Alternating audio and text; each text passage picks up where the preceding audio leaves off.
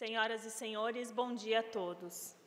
É com grande satisfação que a Câmara de Vereadores de Santa Maria os recebe nesta manhã para o segundo Fórum Municipal de Resíduos Sólidos de Santa Maria.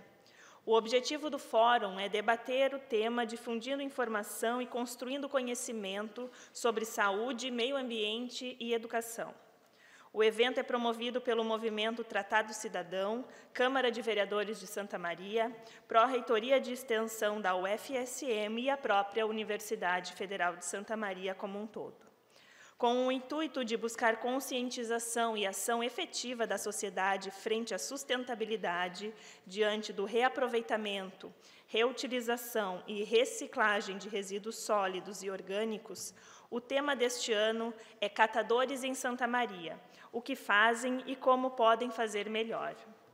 Neste momento, nós chamamos a professora Jadete Lampert, que representa o movimento Tratado Cidadão, para recepcionar as autoridades na mesa de abertura.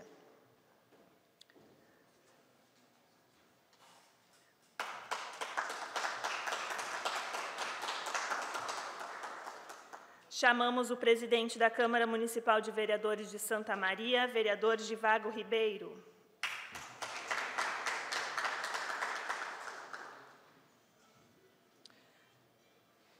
Vereadora Admar Pozobon, presidente da Comissão de Saúde e Meio Ambiente da Câmara.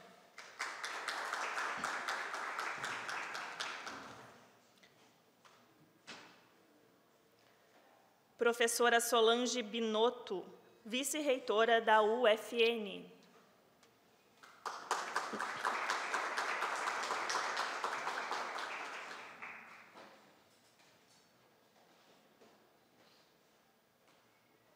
Senhor Alexandre Marim, promotor do Ministério Público.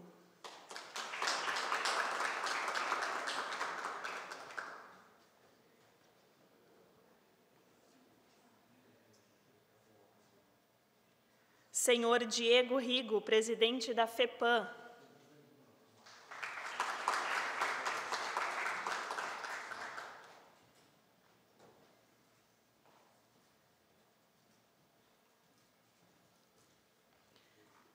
Registramos ainda e agradecemos a presença do senhor Francisco Ribeiro Lopes, representando a oitava CRE, senhor André Domingues, representando o Condema, demais autoridades aqui presentes e representadas, professora Nilza Zampieri, marketing da UFN, professores da UFSM, representantes das entidades Lions Clube e Rotaries.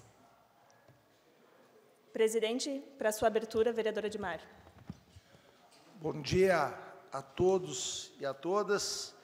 É com imensa satisfação que recebemos a todos aqui nessa, no Parlamento Sandamariense. Iniciar minha saudação aqui pelo meu presidente, vereador Givago Ribeiro, presidente do Legislativo neste ano, nosso vereador Maneco também está por aqui, vereador Valdir, saudar todos da mesa aqui. É com imensa satisfação que este ano presido a Comissão de Saúde e Meio Ambiente desta casa. E normalmente o presidente delega um vereador para ser o seu representante. Aconteceu ontem no primeiro seminário do autismo, lá na, na FAPAS, onde eu fui representando o presidente esta casa. E hoje nós invertemos os papéis.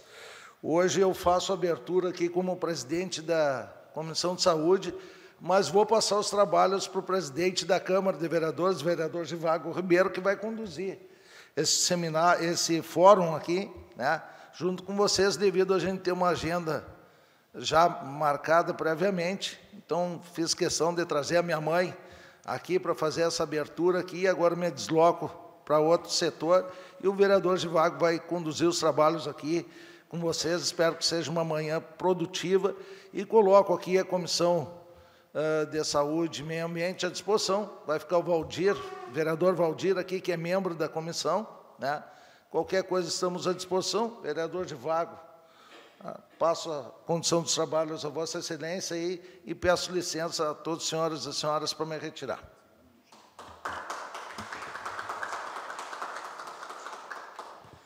Obrigado, vereador Ademar Poçobon. Uma saudação e um bom dia especial a todos que estão presentes nesse momento e também aqueles que nos prestigiam por meio da nossa TV Câmara. É apenas uma questão regimental, destacar a importância da Comissão de Saúde e Meio Ambiente. Vereador Ademar, que está presidindo a comissão é, neste ano, também aqui o vereador Valdir Oliveira, também membro dessa comissão, é o que nos oportuniza a transmissão é, deste evento por meio dos canais oficiais da Câmara de Vereadores. Então, por isso, a importância da integração de uma comissão permanente, Jadete, junto a este tema que significa muito para nós, no momento que nós estamos vivendo em Santa Maria, em especial para tratarmos é, de um tema que nós já estamos debatendo aqui na Câmara de Vereadores, desde a formação da nossa comissão especial dos resíduos sólidos, aqui como membros efetivos este vereador Givago Ribeiro, o vereador Danclar Rossato e também o vereador hoje licenciado, o vereador Ricardo Blatz. Nesse sentido, nós vivenciamos e protagonizamos também um avanço fundamental para que pudéssemos estar aqui hoje debatendo o tema dos catadores. Obrigado, vereador Ademar Pozobon, a Comissão de Saúde e Meio Ambiente, a qual eu agradeço também a sua disponibilidade para estar aqui na abertura deste, deste evento. Da mesma forma, já libero também o senhor, sei que tem uma agenda vasta agora pela frente. Obrigado, tá bem? Da mesma forma, eu quero saudar aqui os vereadores Valdir Oliveira, vereador Manuel Bádico Maneco, também assessoria do vereador delegado Getúlio, o vereador Juba, Juliano Soares, porque o parlamento ele tem um papel fundamental na tratativa desse tema.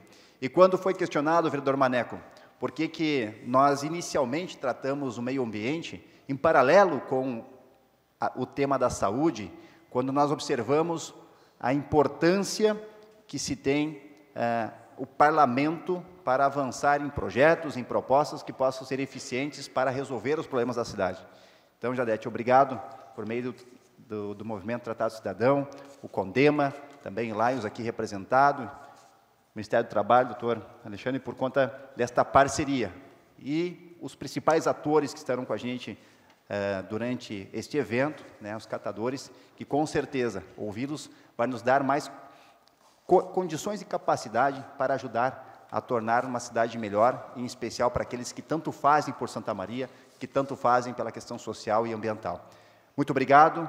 Passo agora a palavra para o nosso cerimonial, para que possamos dar aqui eh, seguimento ao nosso, ao nosso evento. Obrigado.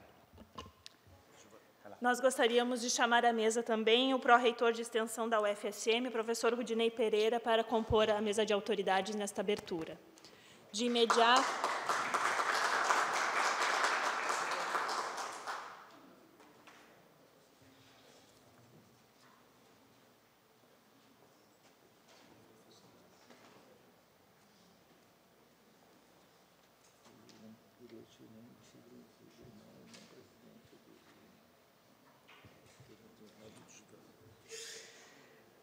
Passo a palavra neste momento à professora Jadete Lampert, que exporá a razão, o grande motivo do movimento Tratado Cidadão, qual representa, para estar na base de realização deste segundo Fórum Municipal de Resíduos Sólidos.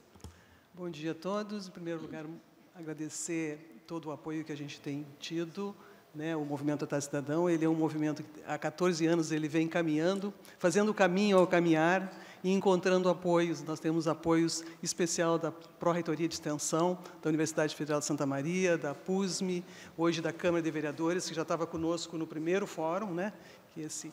E o que é o movimento? O movimento, na verdade, ele é apenas um movimento, ele não é uma ONG, que ele vem com uma proposta de de ajudar o que já existe, o que já está sendo feito, no sentido de potencializar e expandir, uma vez que ele tenha uma utilidade pública.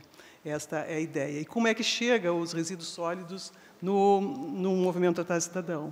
Uh, o movimento Tratado Cidadão ele começa com uma ideia de aproximar teoria e prática, academia e sociedade e vice-versa, e, e para isso ele começa a se estruturar e cria duas linhas de trabalho, que é a sensibilização da sociedade e o outro é o fórum público com a apresentação de trabalhos por alunos de graduação, que é o nosso foco, para que eles tenham mais prática durante a formação, apresente os seus trabalhos com uma prática junto da sociedade. Então a gente vem trabalhando isso e, e realizando fóruns anualmente, em duas edições. Esse ano a gente já tem uma primeira edição, o, ano, o mês próximo mês, agora junho 20, 21 e 22, a primeira edição do 14º Fórum. Né? Nós estamos com 14 anos. E na, na, linha da sensibilização da sociedade, há uns três anos a gente identificou que deveria ser feito mais alguma coisa, não simplesmente conversar e trocar impressões sobre esta ideia com as instituições, mas fazer mais alguma coisa. E a gente criou dois braços, que é a popularização da ciência, que é o pegar o conhecimento e traduzir numa linguagem simples e divulgar para a população, para que ela tenha não só conhecimento, mas possa usar a seu favor e o outro é o balcão de projetos, é aí que surge o resíduos sólidos. No balcão de projetos, o primeiro tema que surgiu foi ah, o imposto solidário, que está aí em campanha, e a gente, todo o, o, o projeto do, dos projetos que chegam no balcão, a ideia é que eles sejam permanentes, uma vez que eles têm utilidade pública, eles não deverão né, ser apenas uma campanha, mas sim um movimento permanente que visa uma mudança, uma mudança de, do bem comum, né, que é bom que todos ganham nesta, neste movimento. E, então surgiu o movimento uh, do, no balcão de projetos do movimento, resíduos sólidos. Ah, depois do imposto solidário veio a Fundação Moan e nos trouxe a linha da educação, meio ambiente e saúde. E foi nesta linha de discussão que a gente identificou resíduos sólidos como alguma coisa muito concreta que ninguém pode negar, porque todo mundo vivencia no dia a dia a produção de resíduo sólido e querendo se descartar dele sempre, né, que é o lixo. Então, não tem como alguém não se não se identificar nessa necessidade em relação a resíduos sólidos. Por isso nós escolhemos esse na época a, aqui a Câmara de Vereadores estava com a comissão de resíduos sólidos, então a gente inclusive teve reuniões junto da PUSME, que é uma parceira nossa da Associação dos Professores Universidade de Santa Maria, e tivemos então o primeiro fórum. E que resultou do primeiro fórum? Dia me perguntaram, o que resultou do primeiro fórum? Porque um grande desafio nosso é fazer com que qualquer um desses eventos tenha um produto e esse produto efetivamente seja usado, né, e surja alguma coisa em decorrência. E o que às vezes não acontece. Então, o primeiro fórum, na verdade, para nós criou uma consciência da importância do tema né, conhecer, conhecimento um pouco da legislação e da realidade, e se continuou discutindo junto da PUSM em reuniões que a gente chama rodas de conversa, e surgiu, então, a, a, a identificação nesse sistema dos catadores. Aí surgem os catadores como nó crítico do sistema que são pessoas que prestam serviço e muitas vezes são desconhecidas, não reconhecidas como tal, não é? E, enfim, vamos conhecer melhor essa realidade, como ela pode ser melhor ou pode ser melhorada, né, com a ação de vários poderes, executivo, legislativo, acadêmico, enfim, a sociedade como um todo. E então justifico assim porque hoje nós estamos aqui né, ah, realizando o segundo Fórum Municipal de Resíduos Sólidos em Santa Maria e região, com o tema Catadores em Santa Maria, o que fazem, como pode fazer melhor. Um, uma, um detalhe importante que eu gostaria de salientar é que, em 2011, o Movimento Tratar Cidadão criou um perfil cidadão. Com esse perfil cidadão, na época eu coordenava um projeto nacional de avaliação de escolas médicas e áreas da saúde, e, e, eu levei esse perfil que a gente criou aqui no Movimento Atrás Cidadão para muitas palestras ou é, oficinas, enfim, e sempre chamou a atenção, porque nos, nas diretrizes curriculares nacionais de todos os cursos de graduação, diz lá formar o profissional este ou aquele e, e formar um cidadão. E toda vez que a gente perguntar como é que está formando o cidadão aqui, a, a resposta geralmente é um silêncio. E nós não encontramos na literatura ainda alguma coisa equivalente ao que nós criamos em quatro variáveis. O perfil cidadão nós identificamos como sendo uma variável numa sequência. Primeiro é alguém que percebe o contexto. O segundo, essa pessoa é capaz de uma análise crítica desse contexto. O, o segundo, o terceiro, ele tem uma atitude propositiva, não só faz a crítica, mas visualiza uma proposta de melhoria. E quarto, tem disposição para ação. Com essas quatro variáveis, né, de perceber, de analisar, de propor e agir, não é? A gente identifica o cidadão e vê o quanto nós ainda somos frágeis nesse perfil. Nós muitas vezes percebemos, fizemos análise, fizemos a crítica e às vezes até temos uma proposta, mas às vezes nem a proposta temos para chegar ao ponto da ação. Então, o desafio hoje com o tema aqui é exatamente a gente fazer essa caminhada desde a percepção do contexto até ações a serem realizadas. Então, com isso eu finalizo a minha, fa minha fala e vamos hoje todos juntos uh, estar uh, interagindo no sentido dos conhecimentos e olhares diferentes para que a gente possa, nesse conjunto, ter propostas de ação também conjuntas né, e efetivamente melhorar as nossas ações em relação a, ao meio ambiente, não é, a, ao sistema de, de, coleta, enfim, e especificamente aos nossos trabalhadores que fazem esse trabalho de coleta de resíduos sólidos para reciclagem. Ok? Muito obrigada. E vamos adiante com a nossa, nossa programação e a mesa de abertura com os nossos convidados, autoridades, que agradecemos muitíssimo. Somos honrados com a presença de vocês aqui e, e, com a certeza da contribuição que vocês poderão estar nos trazendo e, e sabendo que sozinhos nós não fizemos quase nada, para não dizer nada, né? Aí só consegue fazer alguma coisa no conjunto das nossas das nossas propostas, enfim, numa linha né, de de buscar o bem comum, né? Em que todos ganham. Obrigada. Neste momento, desface a mesa de abertura para iniciarmos os trabalhos do programa com a mesa número 1, que fala sobre gestão de resíduos sólidos em Santa Maria, o que os catadores fazem e como podem fazer melhor. Sintam-se todos acolhidos pelo Parlamento Municipal neste evento. Um bom evento a todos.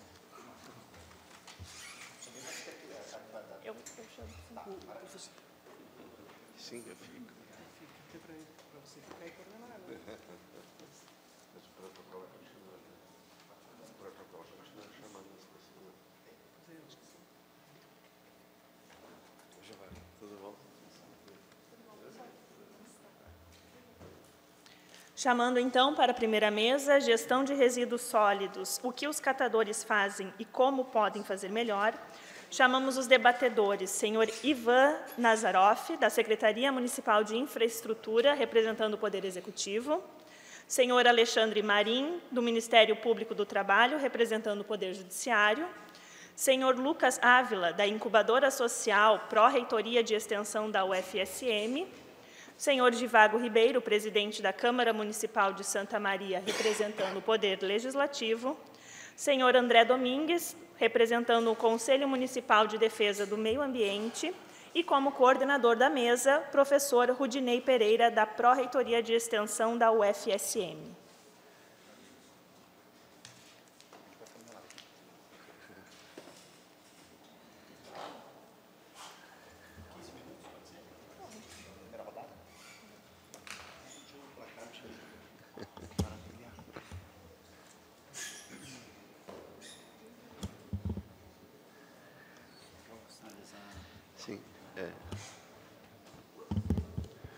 Muito bem, então, para que nós possamos dar início aqui a essa, essa primeira rodada com os nossos palestrantes e debatedores, vamos combinar inicialmente para que nós possamos né, conduzir a, a metodologia, digamos assim, da condução deste evento, 15 minutos iniciais para a, a primeira explanação, para que nós possamos depois eh, ter as, as, demais considerações e assim a gente vai interagindo com o tema. Se necessário, a gente pode, obviamente, para a conclusão é, do, do tema, enfim, mas é, estender um pouco mais o tema, só para a gente conseguir fazer, né, dentro do tempo que nós temos até o final dessa manhã, de uma forma bem otimizada, digamos assim, né, o uso da, da palavra aqui. Vou passar então agora os trabalhos para o nosso professor, para que possamos então dar seguimento ao evento.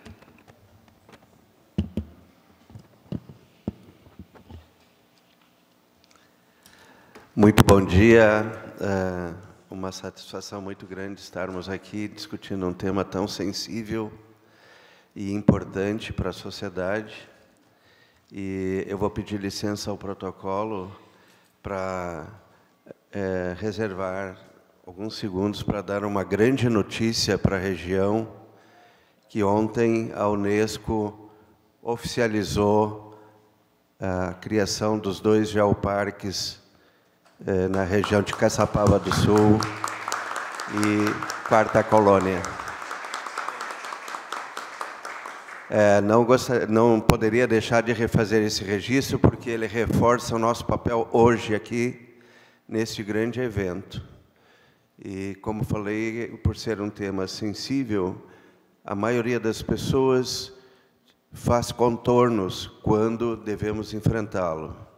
Então, parabenizar ao Movimento Tratado Cidadão, que, numa aproximação de parceria com a Universidade Federal de Santa Maria, a universidade entendeu que deveria também aportar os esforços necessários para que a gente pudesse exatamente estar aqui novamente no segundo fórum e caminharmos né, ao longo da, dessa trilha, vamos dizer assim, para que nós che cheguemos né, com é, a construção de algo bastante consolidado para Santa Maria. É, inicialmente, então, é, nós temos aqui na construção do programa, né, é, alguns debatedores e que eu vou chamar aqui para já iniciar. Deixa eu ver se na programação aqui eu encontro. Ah, está aqui. É, o primeiro deles, então, nós gostaríamos, é, pela ordem aqui da programação, nós estamos com os colegas né, Ivan Nazarov, Alexandre Marim, Lucas Ávila, Givago Ribeiro e André Domingues. Então, podemos, acho que, estabelecer o tempo aí de até 15 minutos nessa ordem para que cada um faça a sua exposição e logo na sequência podemos abrir então a interação com os nossos assistentes. Então, Uh, por favor. Bem, queria bom dia a todos. Né? Primeiro, parabenizar o Tratado Cidadão por um, pela organização desse evento. É de extrema importância trazer esse assunto né, e permitir que seja feitas essas discussões uh, sobre um assunto tão importante. O que eu tenho hoje para compartilhar com vocês, eu acho, é um pouco da realidade de Santa Maria, do que a gente tem hoje né, e a partir do mês de maio também uh, um pouco sobre a coleta seletiva que iniciou. Um pouco do histórico, né, uh, a prefeitura de Santa Maria ela já vinha com alguns projetos, né, o Deco aqui tá para exemplificar melhor. A gente teve movimentos no passado e que com eles a gente teve muito aprendizado. O, a pasta, né, ou seja, o assunto de resíduos, ele foi transferido no início de 2021 para uma nova secretaria e finalmente uma equipe técnica exclusiva foi dedicada para fazer esse trabalho. Analisando o sistema, então, e identificando as necessidades, ficou claro a necessidade e a importância de ter uma coleta seletiva em Santa Maria, que é algo que já fazia muito tempo que era solicitado pela população e nunca tinha sido estruturada de uma forma mais uh, processualizada, né, mais organizada no sentido de ser uma coleta recorrente e mais ativa. O que, que então foi identificado? Né? Uh, analisando então a legislação, vem uma obrigatoriedade da contratação de associações. E isso é uma coisa bem interessante que o pessoal, ah, por que não contratou um, né, uma, uma empresa privada para fazer isso? Então, a, a legislação é muito clara. Né? A primeira tentativa e a priorização dos, né, das associações ou cooperativas de catadores. Isso é uma coisa que eu vinha brigando muito, né, e a gente tem N impasses em questão de política, em, bem, independe, então finalmente foi estruturado esse sistema. O primeiro desafio, depois dessa percepção, era encontrar uma associação licenciada e que tivesse a capacidade de, né, de encabeçar um projeto de, desse tamanho. Não é uma coleta simples, não é um projeto pequeno e exige N uh, requisições do poder público. Uh, então, né, então, o projeto que foi iniciado, o trabalho em setembro do ano passado, acabou que só uh, em função das licenças e da oportunidade de encontrar uma associação apta a esse serviço, saiu agora em abril, iniciou o contrato, e em maio iniciamos nossa coleta. Uma coisa interessante de destacar também é que a gente teve um olhar diferente uh, do, do serviço. Né? Uh, eu sei que o tema hoje é catadores em específico, mas eu acho que a associação ela abre uma das possibilidades e uma das soluções para esse problema. Ele é amplo demais para ser solucionado apenas com associações, né? E aqui eu sempre gosto de dizer que eu sou engenheiro civil, então eu nem arrisco opinar ou falar sobre questões sociais. Né? A gente tem que entender também que a gente tem nossas áreas de conhecimento e a gente faz o que pode conforme as nossas nossas atribuições. Então, retomando, né? uma coisa muito importante que foi trocado assim a ideia é o modo da contratação. Por muito tempo, e aqui não é exclusivo de Santa Maria, a contratação era quase que uma ajuda de custos. Era uma ação solidária. Uh, ah, o pessoal está recolhendo material para vender, ele tem lucro, então é uma oportunidade. Quem conhece a realidade sabe que o, né, o, o custo, vamos supor bem simples, né, falando da operação, o custo de diesel de um caminhão, só o custo do diesel, às vezes, o material recolhido, dependendo da qualidade dele, não paga nem esse custo. Então, no momento que a gente, né, o poder público passa um valor e supõe que a associação ela tem que trabalhar com isso, eu chamo de caridade, eu não chamo de, de contrato. Então, a primeira, né, a, o balizador que a gente mudou é: nós estamos contratando um serviço público que já é prestado e vai ser aprimorado e ampliado. Então, o modo de contratação mudou. No momento que eu pego um, um contrato e eu transformo de uma caridade para uma prestação de serviço público, a gente entra com uma, um fator de, de, de fiscalização, de regularização, de programação, muito mais rígido, em certo ponto. Né? Eu brinquei que acho que a dona Margarete não está aí. Né? Eu brinco que, como a Asmar foi contratada, eu olhei para ela acho que a senhora não vai ter tempo de ir no evento. né? Então, porque foi estruturado, ele tem N requisitos, N fatores de controle, né? e, e isso possibilitou que o contrato ele se prorrogue, ele seja ampliado e profissionalize é bem interessante no decreto que regulamenta resíduos sólidos, ele fala que o poder público deverá pro, uh, desenvolver o, a parte empresarial e garantir uma independência financeira das associações. Então, tu está saindo do universo que a gente tinha uma caridade e indo para um universo onde a gente reconhece o trabalho, a gente reconhece o, né, a importância desse serviço, e paga por ele de uma forma completa. Né? Então, hoje, a coleta ela ainda está uh, na fase inicial. A gente tem o, o sistema mais tradicional, que é o porta a porta. Então, o sistema porta a porta, literalmente, é o caminhão passa porta a porta do, né, de cada munícipe e coleta o resíduo uh, disposto na via, né, como o resíduo que é coletado hoje domiciliar. Então, para isso foi feito alguns ajustes nas outras coletas e todos os 12 bairros citados passam semanalmente uh, o caminhão das mar fazendo essa coleta. Ela é uma coleta uh, que tem uma amplitude maior, mas tem um controle menor. Então, não foi uh, pensado de, não, eu vou fazer só o, a coleta porta a porta. Ela não é, ela demora, né? ela exige uma educação ambiental, ela exige uma participação do público, né, da população e não, fa não faria sentido apenas fazer coleta porta a porta. Ah, eu vou fazer três, quatro turnos de coleta porta a porta na cidade. Não.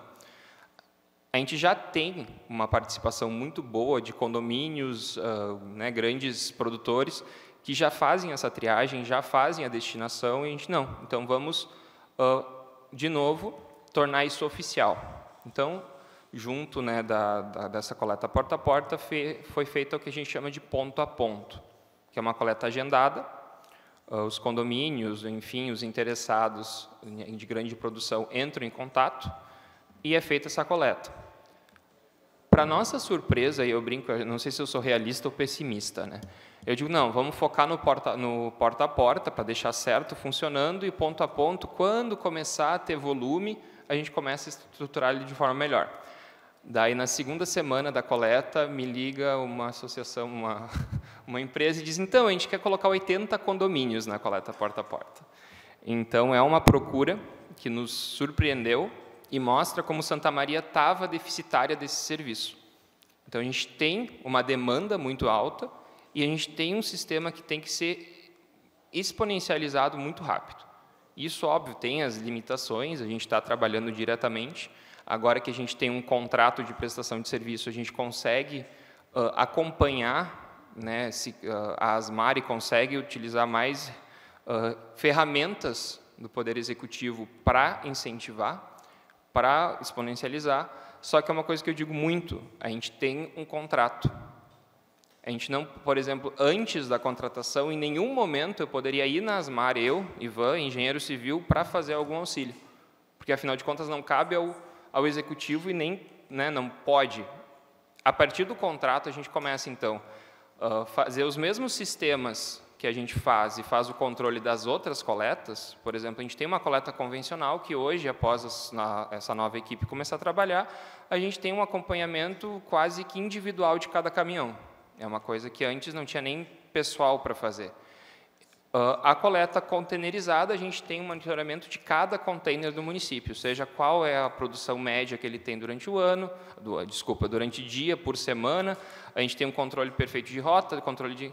Então, no momento que a gente sai e consegue aplicar toda essa técnica, então, no caso, né, a parte técnica de engenharia, na parte técnica de operação, e a gente consegue trazer todo esse universo para a coleta seletiva, a gente começa a profissionalizar ainda mais. Porque qual o interesse do poder público a partir de agora? Uh, logo, nosso sistema ele tem espaço para crescer. Então, novas oportunidades, novos contratos, e cabe né, o mercado disponibilizar pessoas para realizar isso. Por hora, Santa Maria ela só tem uma associação licenciada, é, então a gente fica limitado a esse fato e acaba que a gente depende da capacidade de triagem e valorização para aumentar. Né? Hoje o volume coletado, felizmente, nos surpreendeu. A gente está com um volume maior do que a capacidade de triagem e a gente precisa mais opções, seja para triagem, seja para coleta, e até termos essas opções, infelizmente, a gente mantém sempre uma opção. E é interesse nosso, então, a gente tem a oportunidade, a gente tem como contratar outras associações e cabe essas associações começarem a existir. Então, foge do, do poder público essa organização e a criação dessas associações. Mas a contratação ela é possível. Cabe vir essa proposta de fora. Então, da parte operacional que me cabe, é o que a gente consegue fazer. Eu acho que a gente está num caminho bom, a gente está conseguindo aumentar, a gente está começando ações de educação ambiental focado na coleta seletiva, e cada vez Santa Maria tem uma oportunidade né, e um, um horizonte muito promissor nessa área. Eu acho que é isso, gente. Obrigado.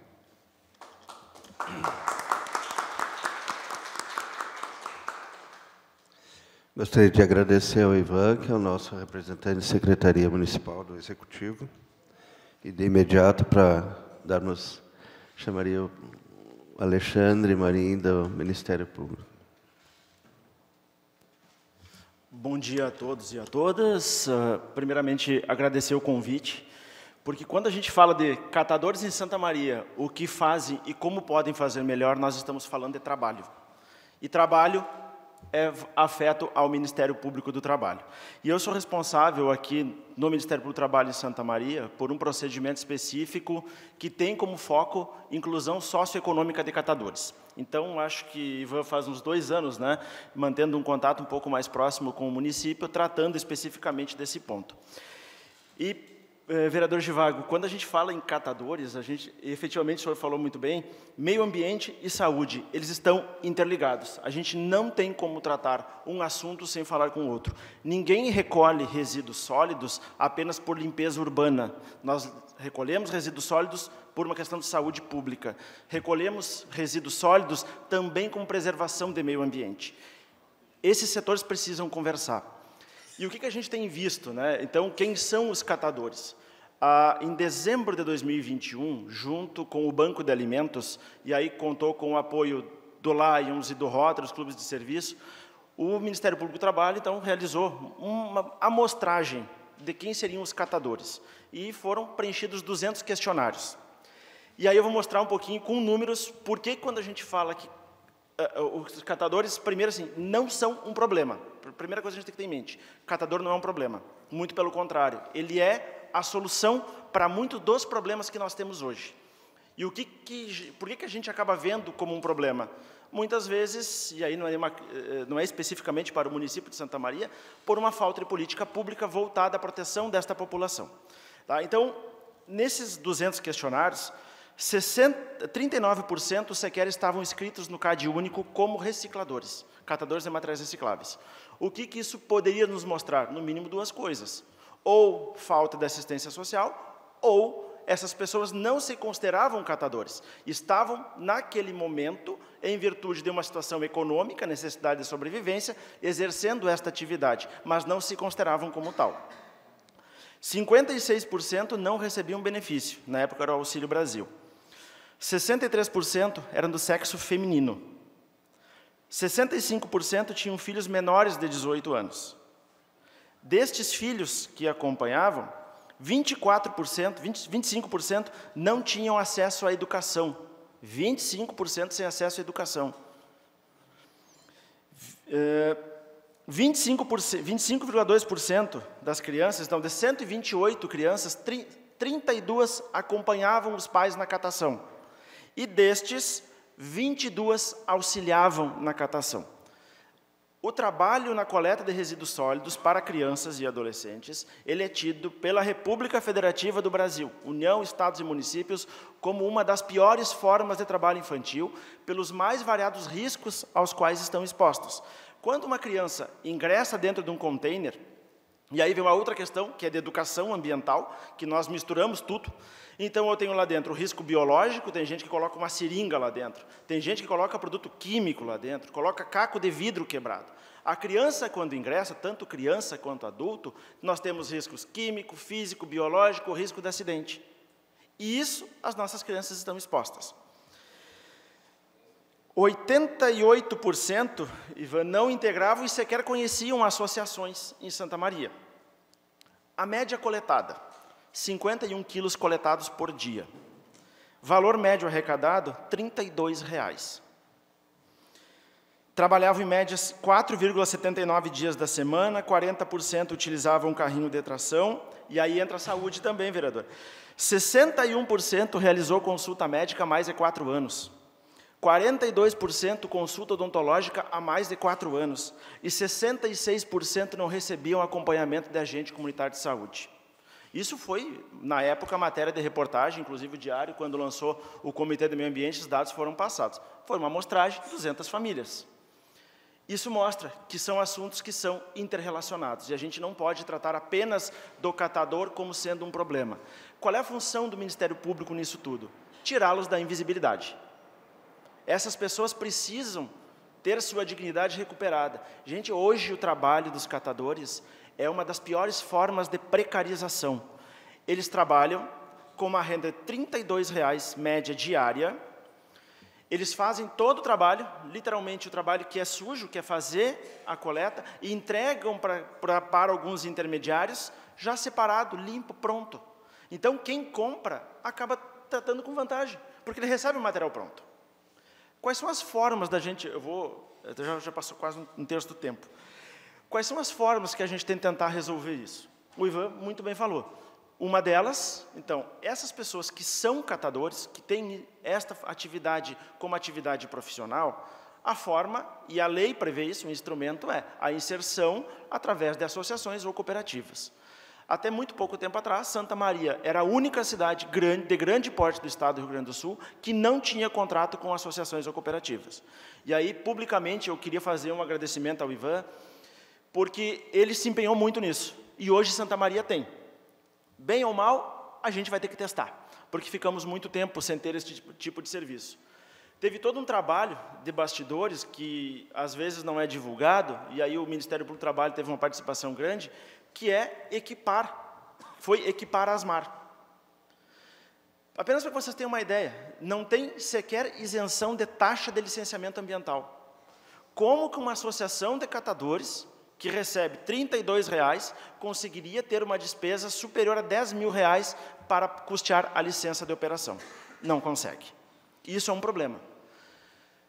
O, Se, o SEBRAE, aqui em Santa Maria, desenvolveu, a nosso pedido, um projeto pioneiro de capacitação da ASMAR, visando a profissionalização. Então, teve um aporte de recursos do Ministério Público do Trabalho e um outro aporte né, que foi do próprio SEBRAE. A aquisição de...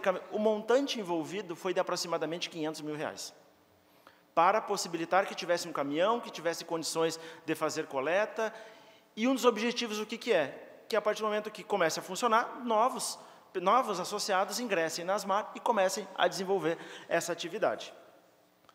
E nós temos um outro setor, então nós temos aquelas pessoas que são catadores e aqueles que estão catadores por uma contingência. E aí, isso está intrinsecamente ligado à questão do desenvolvimento industrial, comercial da nossa cidade. Algumas dessas pessoas entraram, que eu chamo de uma espiral sem fim. Né? Eu sempre relato que uma vez eu estava na frente do supermercado e tinha um, um rapaz pedindo, ele era catador, estava com a mão toda suja, um saco, coletando latinhas. Eu lembro que antes da pandemia, ele era empacotador no supermercado. E ele perdeu o emprego por uma situação econômica e ele começou a viver da catação. Só que é um trabalho, como eu disse, uma das formas mais precárias de trabalho que você tem hoje. Então, muitas vezes, a própria aparência física da pessoa acaba mudando, porque é trabalho no sol, trabalho na chuva, tem que entrar num container, revirar lixo. A aparência física que ele estava naquele momento, provavelmente, não quero ser discriminatório, nada disso, não me interpretem mal, mas provavelmente não possibilitaria uma inserção formal dele no mercado de trabalho. E isso diz respeito à assistência social, desenvolvimento social. Nós temos infinitas pessoas, como eu disse, tem 39% que não estavam inscritos no CAD único como catadores, ou porque nunca, for, nunca procuraram, ou porque assim não se consideram. Isso é uma questão que está afeta ao desenvolvimento social, e é muito importante nós estarmos na Câmara de Vereadores hoje, exatamente porque a política pode partir daqui. Nós precisamos observar estas pessoas e gerar, de alguma forma, uma inserção. Quando a gente fala em tirar da invisibilidade, nós não queremos apenas assistência essas pessoas, assistencialismo essas pessoas e lá dar uma cesta básica no final do mês. Não é isso. A gente precisa possibilitar que estas pessoas retornem ao mercado formal de trabalho. E aí nas, nas minhas diversas reuniões que eu tive no ano passado, uma instituição me procurou e disse o seguinte: ah, a gente pode ensinar as pessoas a fazer currículo um currículo no computador. Eu disse, gente, nós estamos falando de pessoas que vivem, que trabalham para buscar a sobrevivência diária. Não posso levá-los até um lugar para fazer. Olha, eu vou ensinar vocês a fazer um currículo. Vocês cheguem no mundo ideal era todo mundo chegaria em casa, abriria o seu computador, a sua internet e faria o currículo e publicaria na busca do emprego. Não é disso que nós estamos falando. Nós estamos falando de, de uma camada da população que até então é invisível e que precisa retornar ao mercado. De que forma? Criando mecanismos para capacitar essas pessoas, para ensiná-los a fazer o currículo, elaborar o currículo e possibilitar que se tenha um encaminhamento. Muitas dessas pessoas, acreditem, não eles se sentem, é uma questão de autoestima, envergonhadas de chegar no cine e preencher uma ficha. É disso que nós estamos falando. Então, o município começa a caminhar, começa contra, contratando, que já foi um enorme avanço. Eu acho que a última contratação foi 2014, 15, né? Desde então, acho que nós não tínhamos mais. A gente tá, acredita que vai funcionar, e isso foi falado para a Margarete. Margarete, tem que funcionar. A gente precisa dar o pontapé e tem que fazer funcionar o sistema, porque isso diz respeito ao futuro da coleta de resíduos recicláveis em Santa Maria. E muito diz respeito à educação. Ainda que tenha uma coleta funcionando, não tem como impedir, e isso foi matéria ontem em jornalística, Porto Alegre, por exemplo, pensa em mudar o contentor, né, o, o recipiente ali, o, o, coletor. Então, colocar algum que não permita o ingresso. Então, colocar uma boca menor. De alguma forma, vão tentar ingressar. Isso sim. O que, que tem que partir da gente, nós, enquanto cidadãos? Fazer a coleta, separação na sua residência e não misturar. Porque as pessoas vão continuar fazendo coleta. Porque tem gente que tem como atividade profissional, entende que é uma atividade, ele gosta de fazer, é rentável, e a gente precisa valorizar. Reconhecer essas pessoas. Então, eles vão continuar, de alguma forma, fazendo essa coleta. Mas o que cabe a nós, enquanto cidadãos? Separarmos o resíduo, acondicioná-los corretamente, porque essas pessoas, então, alguém se machuca, muitas vezes nem vai procurar atendimento médico, porque no outro dia precisa sobreviver. Ele não tem um benefício assistencial, um benefício social, digamos, ou mesmo benefício previdenciário. Ele vai continuar fazendo a coleta no intuito, no dia seguinte, poder comprar a sua alimentação, porque ele tem um filho, filho ou filha para sustentar. É, eu tenho três minutos ainda, mas é, só para relatar. Eu tenho um filho que tem cinco anos. E uma das coisas que eu penso quando eu falo assim inclusão socioeconômica e tentar brigar pela inclusão é que futuro que eu quero para as crianças que têm a mesma idade do meu filho. Eu quero vê-los puxando uma. Não que seja um demérito, muito pelo contrário. Eu quero vê-los puxando uma carrocinha e entrando na lixeira? Eu, particularmente, não. Eu gostaria que as crianças estivessem todas na escola, porque educação é uma das formas. Tanto que na escola Paulo Freire, que está em reforma agora, no ano passado nós encaminhamos, fizemos um aporte de recursos exatamente para criar oficinas na escola Paulo Freire, para possibilitar que crianças que não estavam em idade regular né, que conseguissem fazer capacitações para inseri-los no mercado de trabalho. Esse é um dos objetivos. É, eu posso, enquanto cidadão, ficar muito cômodo dizer: ah, ele está puxando, que pena, está puxando a carrocinha acompanhando o pai e a mãe. Mas o que, que eu posso fazer? Será que eu também não posso brigar por essa causa, enquanto cidadão, e cobrar do poder público? Olha, está faltando escola. A gente avançou, faltavam duas mil, tinha, faltavam duas mil vagas. Estamos avançando aos poucos, mas ainda tem crianças fora da escola. Esse diagnóstico que nós fizemos possibilitou identificar as 72 crianças, dos quais 24 em trabalho infantil. Todas foram encaminhadas para assistência social, o Conselho Tutelar visitou, a Secretaria de Educação visitou essas famílias e todas foram inseridas na rede de educação. Então, é um trabalho de tirá-los da invisibilidade. Eu digo assim, é cansativo, é, mas é gratificante. Né? Aos poucos, a gente vai colhendo os frutos desse trabalho. Não vai ser tão imediato. O próprio contrato com a Asmar, o caminhão está passando. Mas será que a população está fazendo o descarte correto, possibilitando que a Asmar, além da receita do município, também aufira renda com a comercialização dos produtos? Nos primeiros dias foi um sucesso, não sei como é que está agora, né, Ivan? Mas é, é muito em educação. E aí também é importante que nós tenhamos Universidade Federal de Santa Maria, Universidade Franciscana, Instituto Federal Farroupilha, outras instituições e também escolas. Todas as secretarias do município, isso eu falei para o secretário eh, João Chaves, todas as secretarias precisam se comunicar para que se possa criar uma política pública que seja efetiva. Senão, a gente não vai mudar e tal. Gostaria muito, daqui dois anos, a gente fazer um novo fórum e dizer o que, que mudou e que muita coisa tenha mudado. Então, muito obrigado e fico à disposição.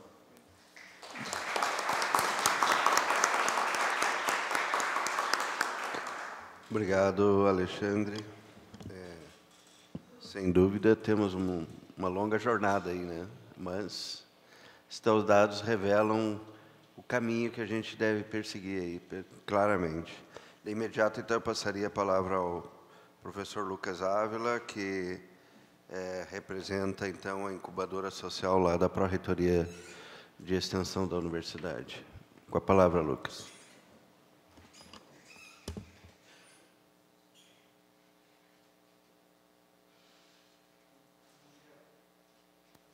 Bom dia a todos e a todas. É um prazer participar aqui do fórum, né, representando a incubadora e também algumas ações da, da universidade. Então, gostaria de saudar a, e, a, as autoridades já mencionadas pelo protocolo, né, especialmente também aqui uh, os participantes do fórum, no qual temos a comunidade acadêmica, temos as pessoas que fazem parte desse processo, né, e principalmente que geram trabalho e renda, né, através, através e por meio dos resíduos sólidos. Uh, também uh, parabenizar a fala dos, dos, colegas que antecederam. Né? São vários indicadores que, uh, que trazem esse problema complexo. Falar de resíduos sólidos, estamos falando de problemas complexos. E problemas complexos muitas vezes geram um problema complexo a ser resolvido por meio do modelo, né? E que modelo é esse? Uh, ouvindo as falas uh, do Alexandre, do Ivan, uh, aqui do presidente da Câmara e das demais autoridades, falando de resíduos sólidos e com os indicadores. Até eu tenho um dado que eu levantei com o João Chaves, no dia 8 de abril, a cidade tem 1.026 famílias formalizadas no Cadiônico. A partir dessas 1.026 famílias, não é um dado correto, não tem, não tem como afirmar, mas considerando que cada família tenha no mínimo, no mínimo uma criança, então nós temos aproximadamente 1.026 crianças ou mais. Eu, eu, estimo que cidade é maior na, re, na, na rede pública, né? seja ela municipal ou estadual. É, considerando que, que, que, as famílias, aqui é um membro que está cadastrado, né? Se a família tem três membros ou mais, então nós vamos ter aproximadamente, no mínimo, 3 mil pessoas envolvido, envolvidas com a coleta de resíduos. Não estou trazendo dados diferentes aqui do colega, estou destacando que, o que está no CAD único. E é uma estimativa que eu estou tentando trazer aqui, no sentido de nós avaliar né, esse problema que é tão complexo. Se falando de problemas complexos, a Secretaria de Meio Ambiente, de Educação, Desenvolvimento Econômico, Ministério do Trabalho, todos querem resolver esse problema, porque é um problema nosso. Né? Não há uma máquina que, que irá realizar a coleta do resíduo, a separação do resíduo, o tratamento do resíduo, gerar renda. São pessoas. E quando nós estamos falando de pessoas, as pessoas é um processo complexo. As, muitas vezes as pessoas que vão trabalhar nesse sistema, elas precisam trabalhar de dia e de noite para ter uma, o mínimo de uma alimentação. E quem garante, né, como dar essa garantia? Então, vou trazer algum, algum, algumas ações que a incubadora social está fazendo, com o objetivo aqui de, de trazer, talvez, a, compartilhar algumas ações que realizamos, que podem servir de modelo, bem como nós vamos entender como que nós podemos ainda aperfeiçoar. Se tratando de catadores, é, no edital de incubação que foi realizado e finalizado em 2020, nós tivemos é, dois grupos de catadores, mais especialmente o grupo de, de Palmeira das Missões, chamado Palmeira Verde. É, aproximadamente 20 famílias de catadores faziam parte desse processo, no qual foi, foi incubado por três anos. E durante esse processo de formação, de instrução, capacitação, parcerias, auxílio na regularização da cooperativa, é, conquista de um terreno, busca de emendas parlamentares para a construção de um local, dentre diversas ações, conseguimos algumas parcerias parceria público-privada.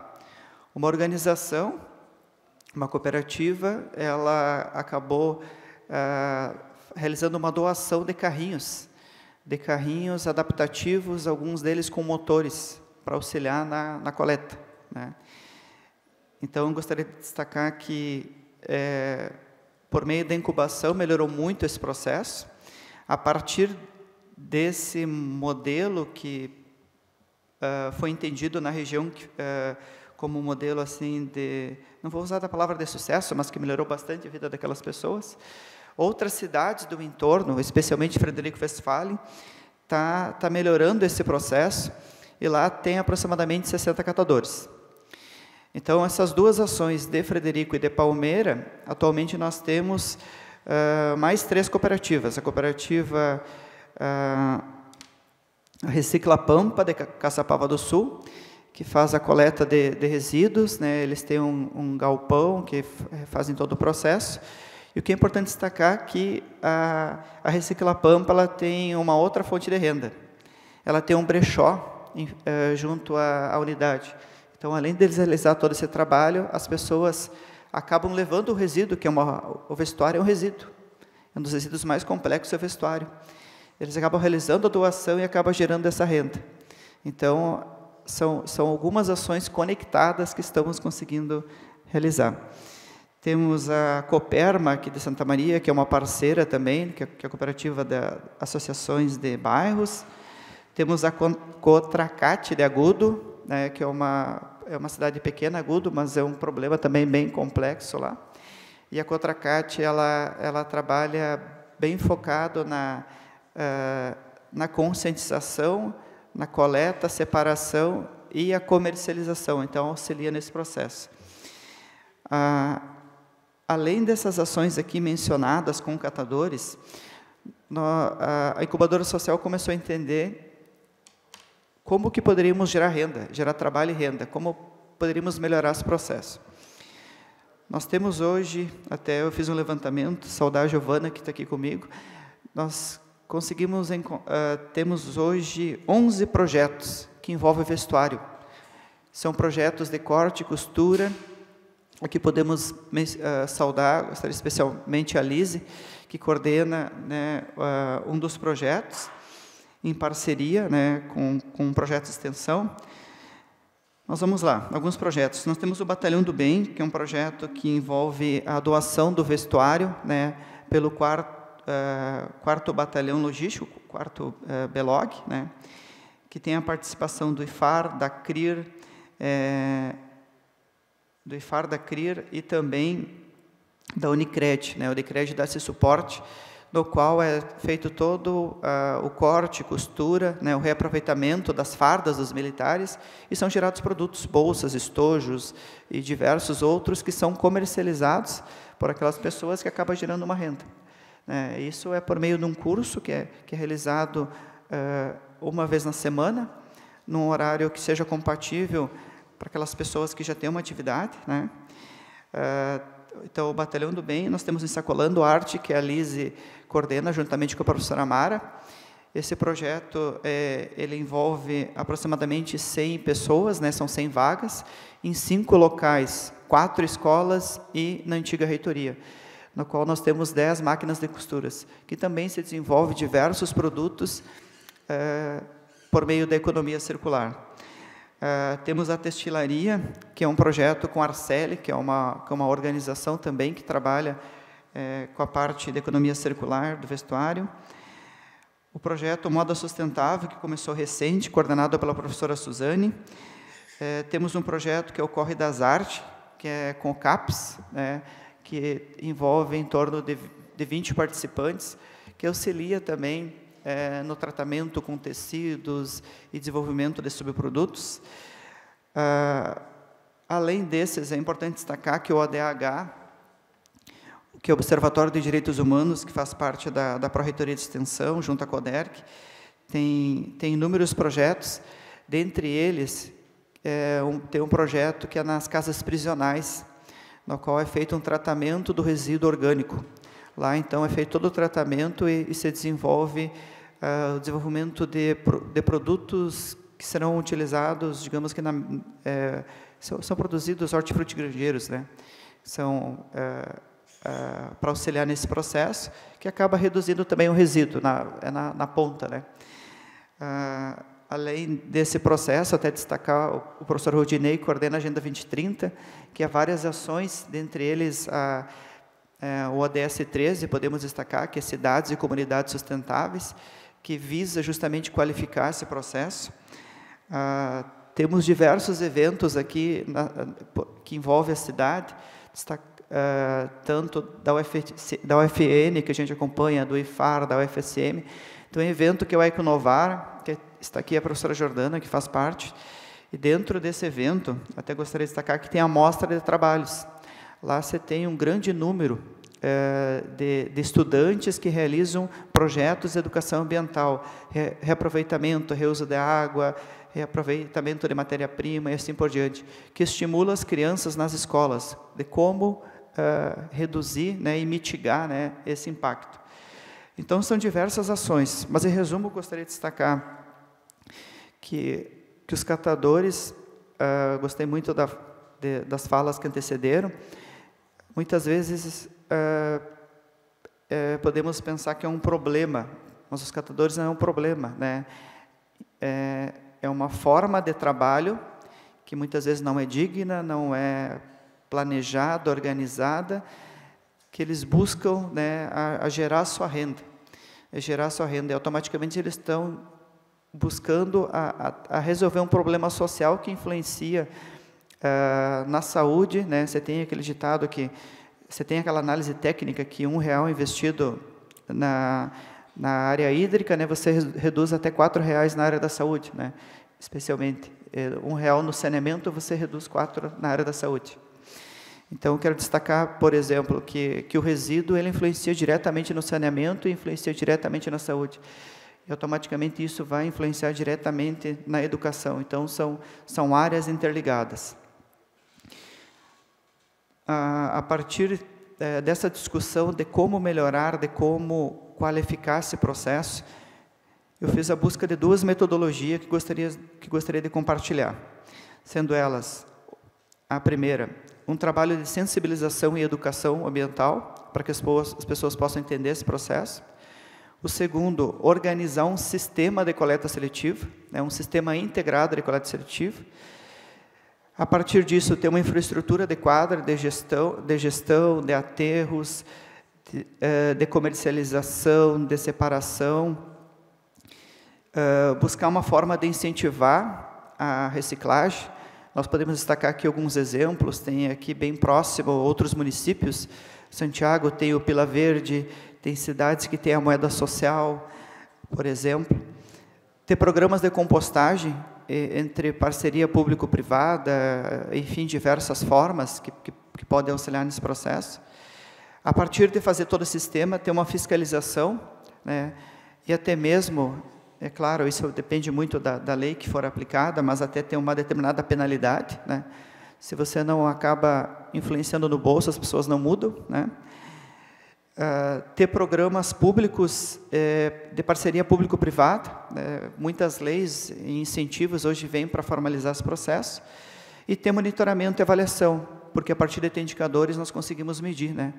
Aquilo que não é medido não é mensurado, aquilo que não é apresentado nós não vamos conseguir mensurar, não vamos conseguir cobrar e até mesmo, a partir desses indicadores, verificar como podemos melhorar. Essa é uma das é uma da metodologia chamada metodologia básica. Tem algumas metodologias, vou trazer aqui, por exemplo, uma que utiliza no Japão.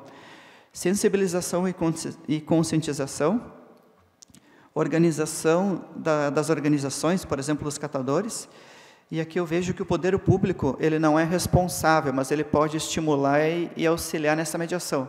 Não vamos tomar essa responsabilidade, mas buscar uma forma de, de auxiliar como que eu crio uma cooperativa. O Alexandre comentou, por exemplo, muitas vezes uma cooperativa não vai ter um fluxo de 10 mil reais para formalizar, não tem um auxílio jurídico, não sabe como realiza uma cooperativa. Daí acaba ficando na informalidade e o, o, o secretário, o Ivan, vai ter dificuldade lá na hora de abrir um edital, de, de, de, de encaminhar todo esse processo. Né? A partir disso, então, ter uma, um desenvolvimento de uma infraestrutura, incentivar uma forma de, de financiar, ou seja, não estou me referindo do poder público municipal, mas de, de, de, outros meios, né?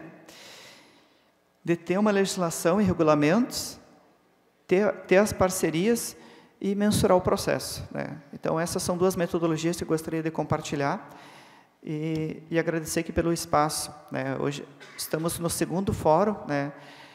É, no segundo fórum, o ano passado já, podemos visualizar avanços relacionados de um fórum para o outro, e com certeza nos próximos nós teremos ainda mais iniciativas e principalmente é, começar a trabalhar mais próximos. Tem muitas ações que muitas vezes, até vou dar um exemplo, a, UFS, a UFN faz, que é fantásticas ações, que a UFSM tam, também faz, e o IFAR. Nós criamos alguma uma ação conjunta e esse processo ainda mais ser mais uh, integrado. Apenas um exemplo da instituição de ensino. Assim como os demais órgãos que, que podem se somar nesse processo. Bom, essa seria minha fala inicial e obrigado. Obrigado, professor Lucas. De imediato passamos, então, a palavra ao vereador Gival Ribeiro, presidente da Câmara de Vereadores, representando o Poder Legislativo.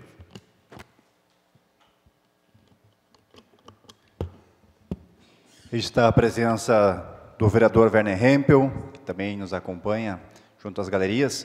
Eu vou quebrar um pouquinho o protocolo. Eu quero passar de imediato a palavra para o André Domingues, o DECO, nosso presidente do Condema, porque eu já tenho alguns questionamentos aqui para a gente depois já interagir né, com os debatedores para que nós possamos avançar a temática. Até por conta da, do que nós estamos tratando também junto ao Poder Legislativo, eu acho que os questionamentos vão abrir com certeza aqui um, um outro leque de ideias e, e, aprimorar ainda mais o nosso, nosso tema aqui.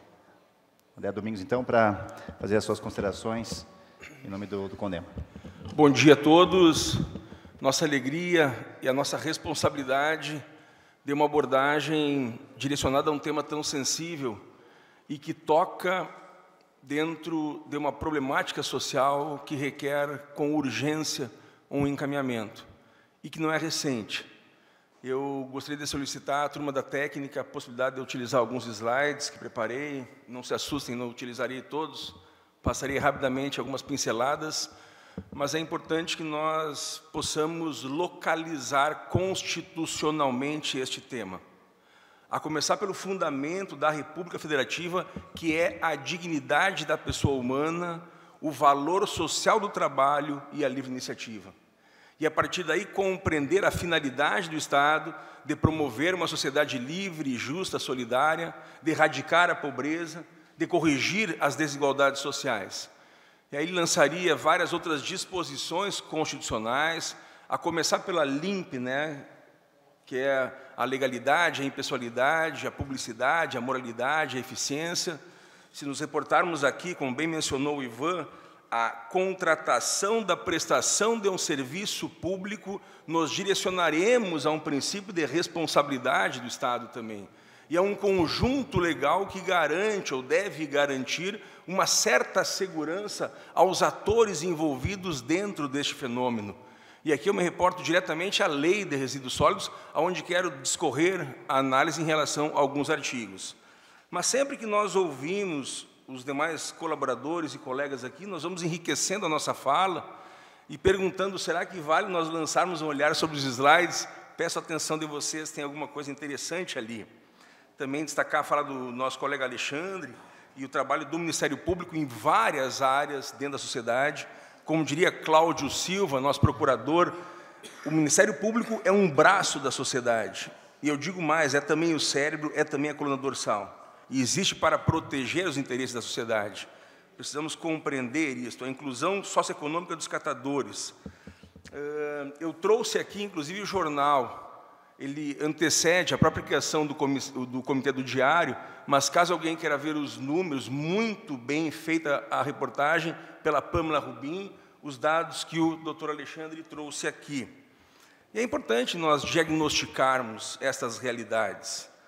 Destacar aqui também os trabalhos do SEBRAE, que é parceiro nosso, né, lá o Carlos, o André, pessoas que têm desenvolvido uma grande atenção, um grande olhar aí em vários setores do trabalho.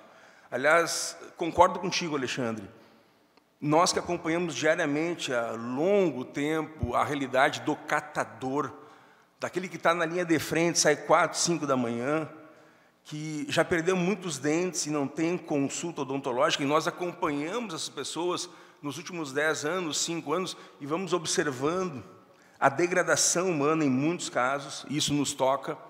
E eu trabalho também com a intermediação de mão de obra, e nós buscamos desenvolver a inclusão deste público. Aí enalteço o trabalho do secretário João Chaves, o nosso projeto Emprega Santa Maria, trabalhando com as casas de passagem em Santa Maria, né? Nós temos um mundo novo, nós temos as casas que vão dar essa dignidade do banho, de uma roupa, da organização para que a pessoa se coloque à frente de uma possibilidade de trabalho. Agradecer aqui a Sulclean e outras empresas que estão empregando estes trabalhadores, e são muitos que não querem empregar, e nós temos que pensar e lançar um olhar e um apoio a eles. Mas eu quero falar aqui em nome do Condema. E falando em nome do Condema, falar em nome de todos os demais conselhos municipais. E chamar, numa reflexão crítica, a falta de reconhecimento da sociedade em relação aos nossos próprios conselhos. Conselho do idoso, da criança adolescente. Nós temos o Conselho do Meio Ambiente, que é uma instituição há 25 anos trabalhando em prol do meio ambiente da sociedade. Enaltecer aqui o professor João Francisco, professora Ana Molina, professora Letícia Osório, Oitava CREA, Grupo Bandeirantes da Serra, tantos outros que passaram pelo Condema. Enaltecer aqui a Lise Brasil, a Terezinha Domingues, nossa turma da Arceli, muito feliz em ver vocês aqui. Poderia estar o Paulo aqui, poderia estar a Margarete, a Vera e tantos outros que nós conhecemos. Eu trouxe uma fotinho da nossa saudosa Dona Maria, que faleceu, mas deixou filhos, netos e bisnetos. Eu tenho uma fotinho com ela em 2016, ali no nosso trabalho de atenção aos recicladores. E é um trabalho que nós começamos a identificar muito cedo, eu diria, de vago, porque eu fui vizinho da Asmar durante 20 anos. Nós desenvolvemos na Unicinos um projeto que eu trouxe aqui também alguns registros, reciclando hoje, preservando amanhã. 1998, na Unicinos, junto com a Prefeitura de São Leopoldo, junto com um grupo de escoteiros de lá, o grupo Vale dos Sinos, a imprensa local, também um, reconhecimento ao, ao empresariado, a PSA Flamingo, que foi a empresa que nos subsidiou a estruturação de um projeto Reciclando Hoje, Preservando Amanhã, onde conseguimos alcançar a população mais carente uma atenção, um recurso. Tem um arquivo, é, segundo tratado, DECO, botei ali no...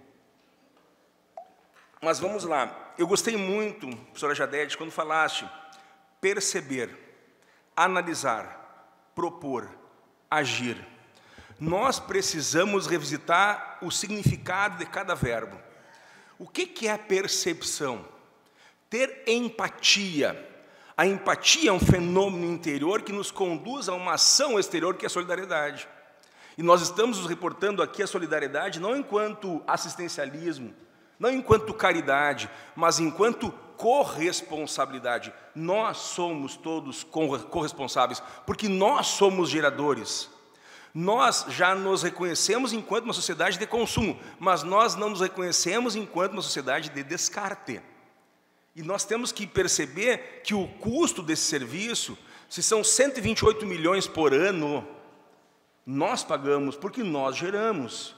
E se nós temos uma média de 12 mil toneladas mês, e só em Santa Maria são 5 mil toneladas mês, nós temos que repensar o que, que nós poderíamos reaproveitar dentro deste contexto. Quando assumimos em 2017, nós tínhamos de 5.800 toneladas, apenas 14 toneladas na triagem feita na CRVR. Aumentamos para 170. Aumento significativo? Sim. Razoável? Não. De 5.500 toneladas calculando 70% que nós poderíamos estar reaproveitando, nós só reaproveitamos o quê? Nem 1%. Então a gente tem que reduzir. Aí entra a ideia do 5R. Recusar, repensar, reduzir, reciclar. Mas vamos lá. Eu tinha notado aqui algumas coisas também, falam muito em olhar sistêmico, né? uma visão holística em relação a este fenômeno, quais são os demais atores sociais trouxemos um dado aqui da Secretaria de Desenvolvimento Social. Aqueles cadastrados formalmente, que se declaram recicladores, catadores.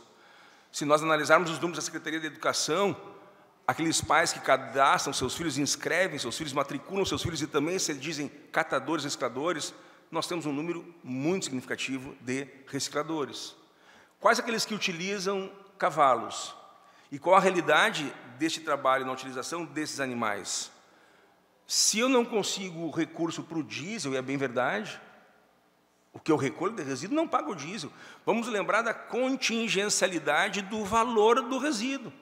Esse último mês baixou muito o vidro, como baixa o papelão, o que sobe alumínio e cobre, e a gente tem incidência de práticas criminosas, de tantos roubos e furtos, para extrair o que? O cobre, o alumínio, o ferro.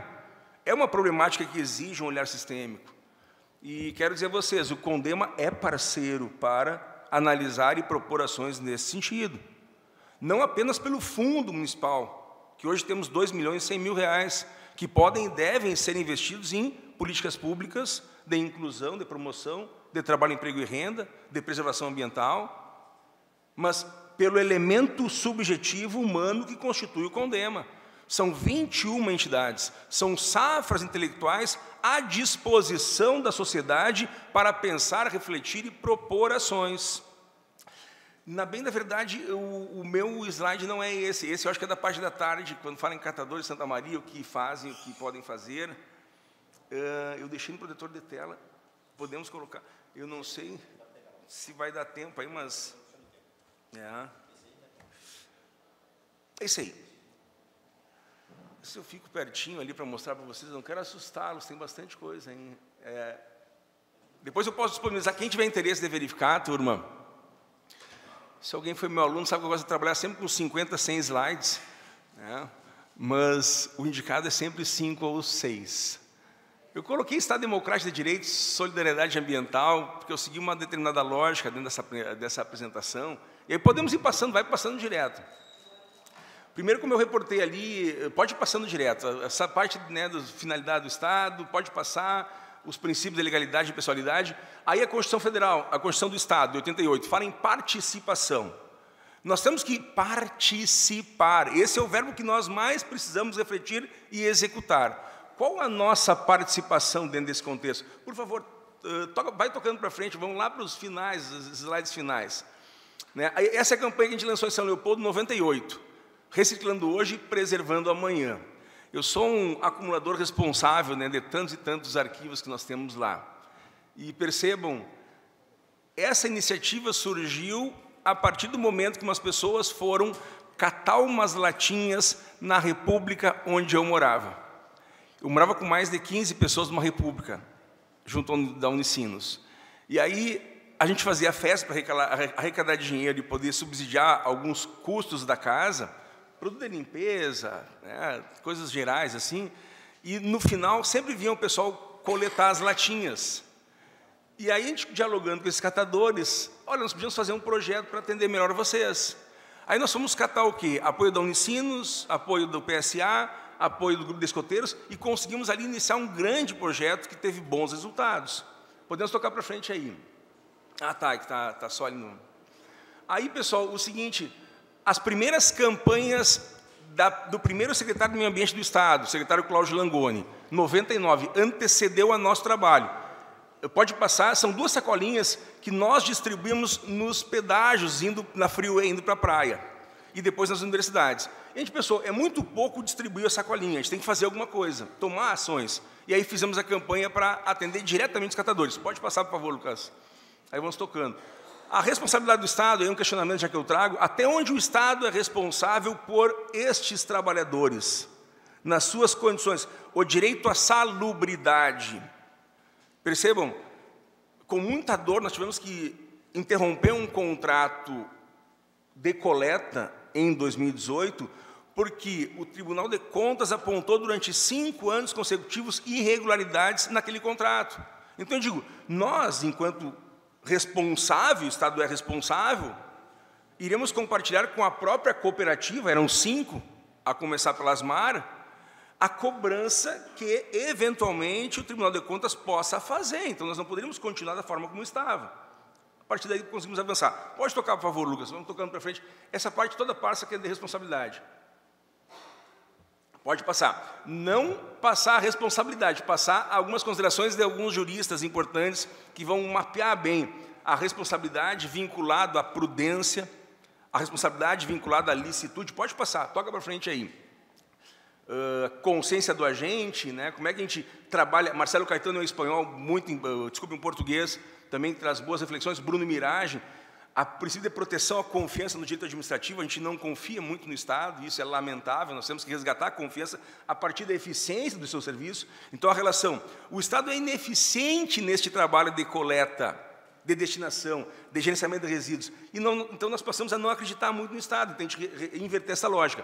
Pode passar, por favor, Lucas, vamos lá para o final daí. Eu vou, vamos chegar na lei de resíduos sólidos, por, por favor. Pode ir passando. Aí o meio ambiente, a disposição do meio ambiente específico, eu trago aqui esses recortes mais para estimular cada um de vocês, eu repito, estará à disposição esta fala para verificarem autores, disposições legais e, a partir daí, uma interpretação um pouco mais ampliada. Pode passar, por favor.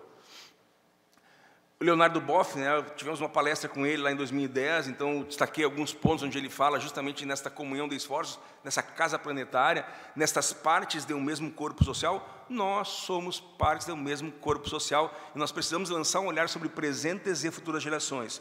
Concordo mais uma vez com o Alexandre. Qual é o futuro que eu quero para as minhas crianças?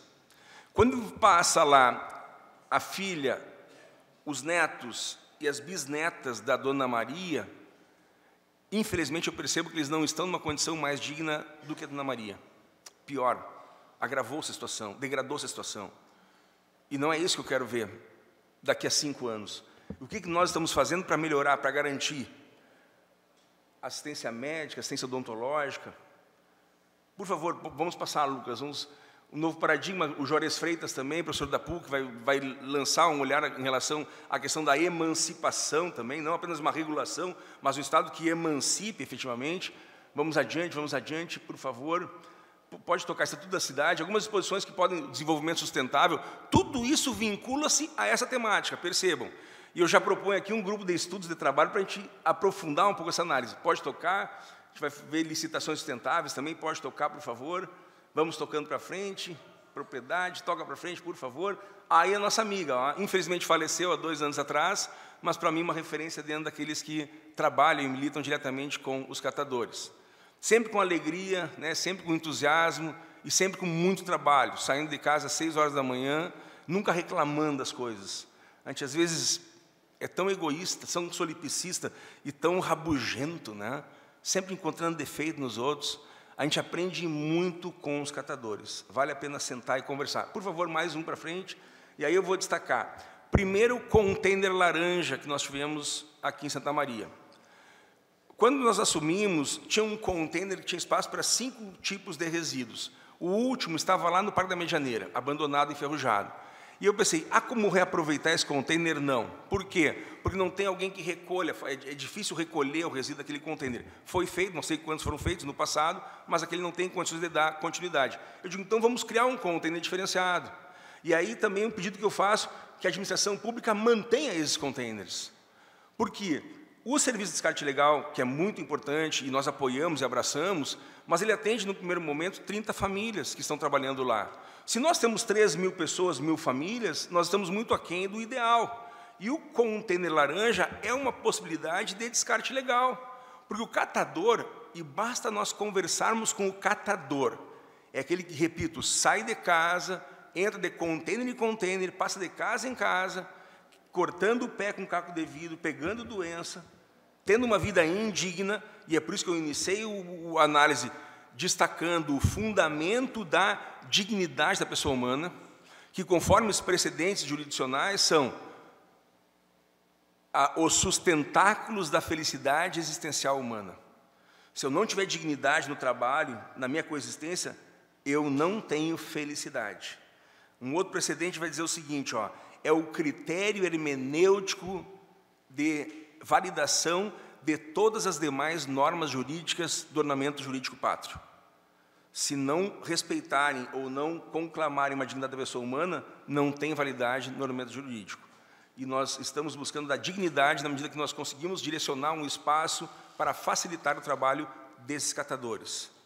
Vamos tocar. Mais um pouquinho, vamos para frente aqui. Só ó, aí as reportagens, reportagens da época. Só entrar mais um pouquinho. Aqui, pessoal. Aqui eu iniciaria uma análise pormenorizada, e a gente pode fazer em seguida, de, lei 12.305, que é a Política Nacional de Resíduos Sólidos. Apenas até o artigo 9 por favor, Lucas. Aí nós concluímos. Artigo 9 Na gestão e gerenciamento de resíduos sólidos deve ser observada a seguinte ordem de prioridade. Não geração, redução, reutilização, reciclagem, tratamento de resíduos e disposição final ambientalmente adequada dos rejeitos. Mais adiante, nós vamos falar o seguinte, ó, o plano municipal de gerenciamento de resíduos. E ligado ao plano, ligados ao plano municipal de gerenciamento de resíduos, vários outros planos. Agora pergunto a vocês, estamos na Casa Parlamentar, estamos com representação do Poder Executivo. Nós temos um plano municipal de gerenciamento de resíduos em Santa Maria? Santa Maria tem mais de 200 mil eleitores nós estamos falando de quase 300 mil pessoas. E estes planos são cobrados para cidades que têm mais de 20 mil habitantes. E nós trabalhamos com essa realidade há mais de 20 anos. Nós temos essa lei há mais de 10 anos. E nós não tivemos ainda a sensibilidade, para não utilizar outro termo, de nos reunir e constituir um plano municipal de gerenciamento de resíduos atribuindo responsabilidades e consolidando dignidade para as pessoas que trabalham dentro deste universo. Pessoal, eu gostaria de citar várias pessoas aqui, parlamentares presentes, lideranças presentes, mas eu seria, de, de certa forma, uh, indelicado em enaltecer alguns e não outros. O tempo avança, então, na pessoa do Givago, que é o nosso presidente da Câmara de Vereadores, representando a sociedade, eu quero deixar este fraternal abraço a todos que estão aqui. Muito obrigado.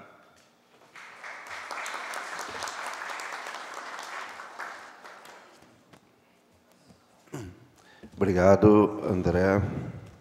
É, de imediato, passa então a palavra ao nosso vereador, presidente da Casa, Givago.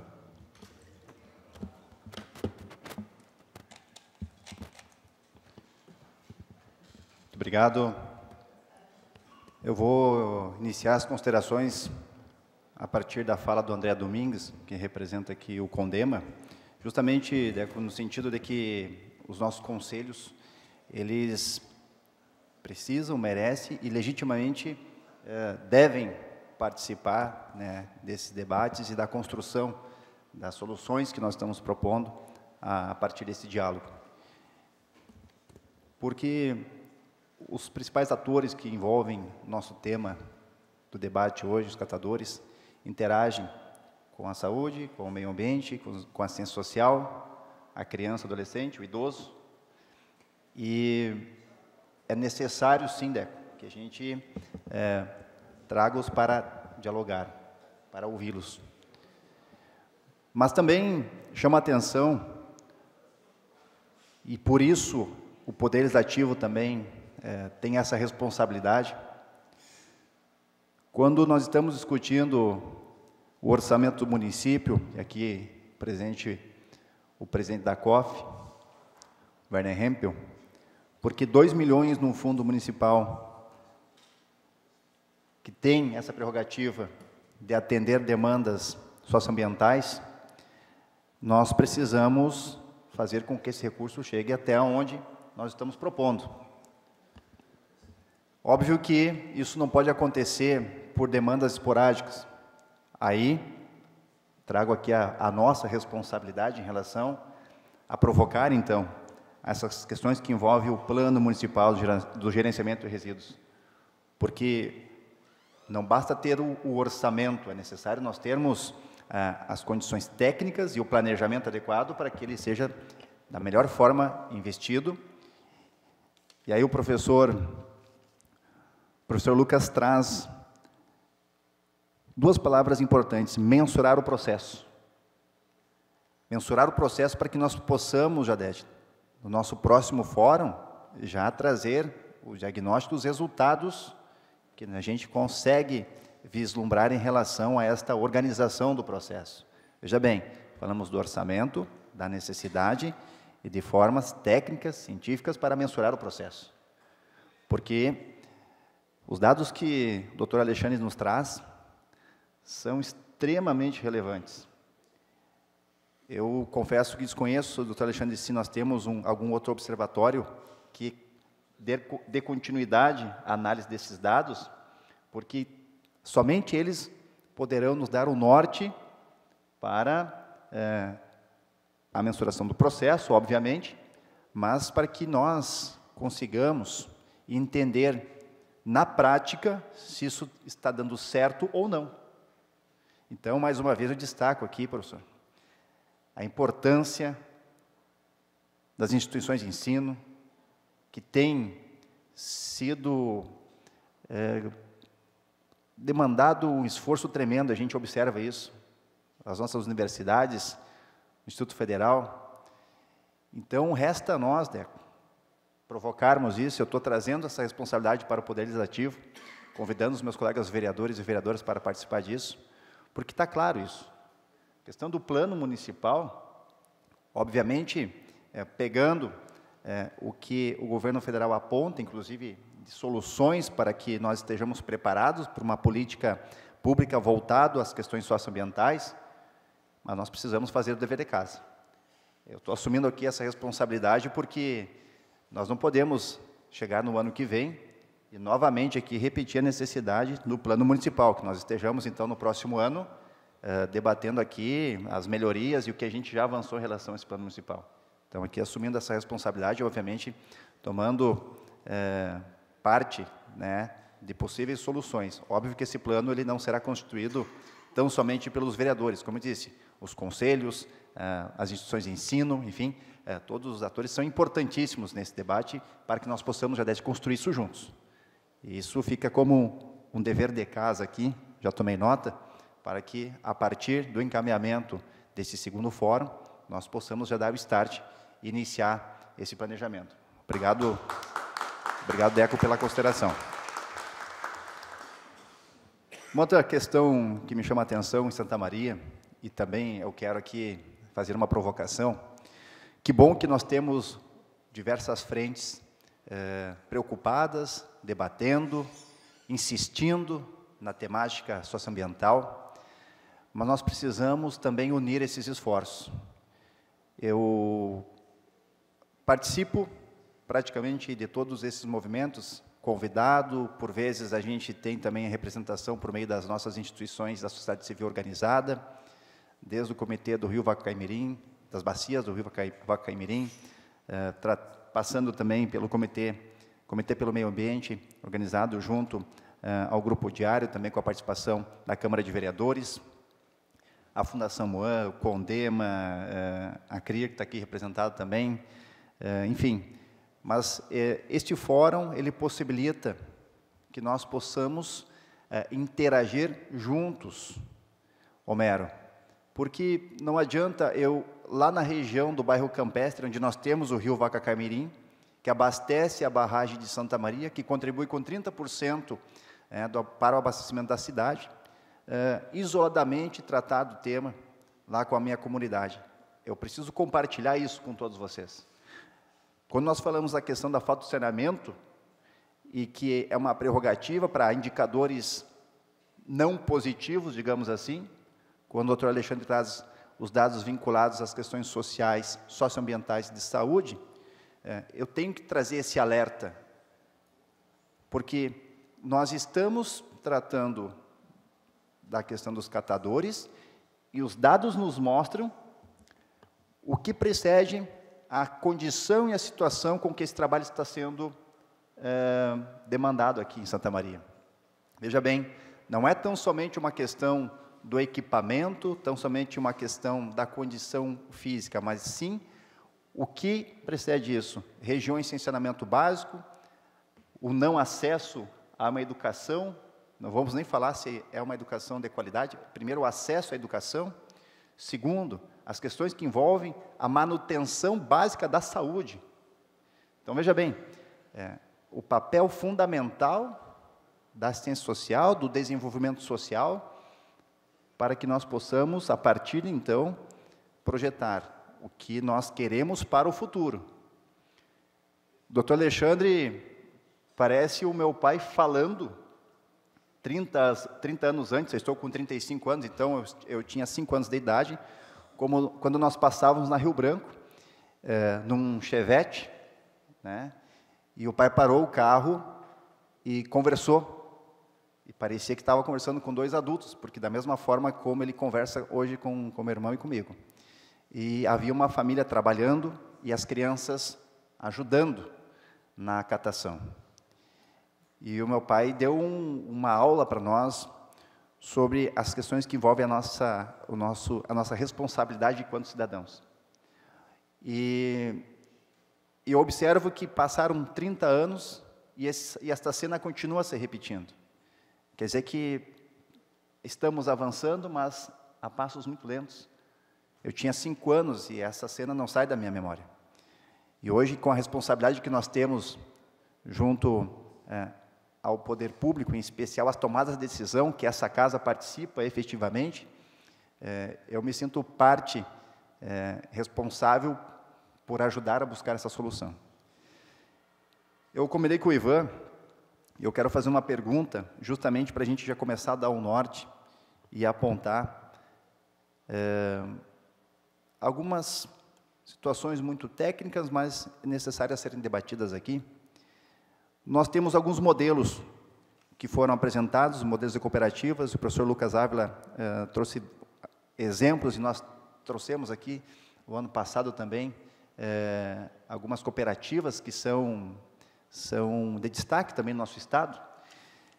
Ivan, dentro dessa, desses estudos que foram feitos, obviamente para que a gente pudesse chegar hoje eh, no start, digamos assim, da coleta seletiva, é, é possível nós termos um dado das cooperativas que já atuam no nosso estado, qual que é a, a, a, média de renda, digamos assim, dos cooperados.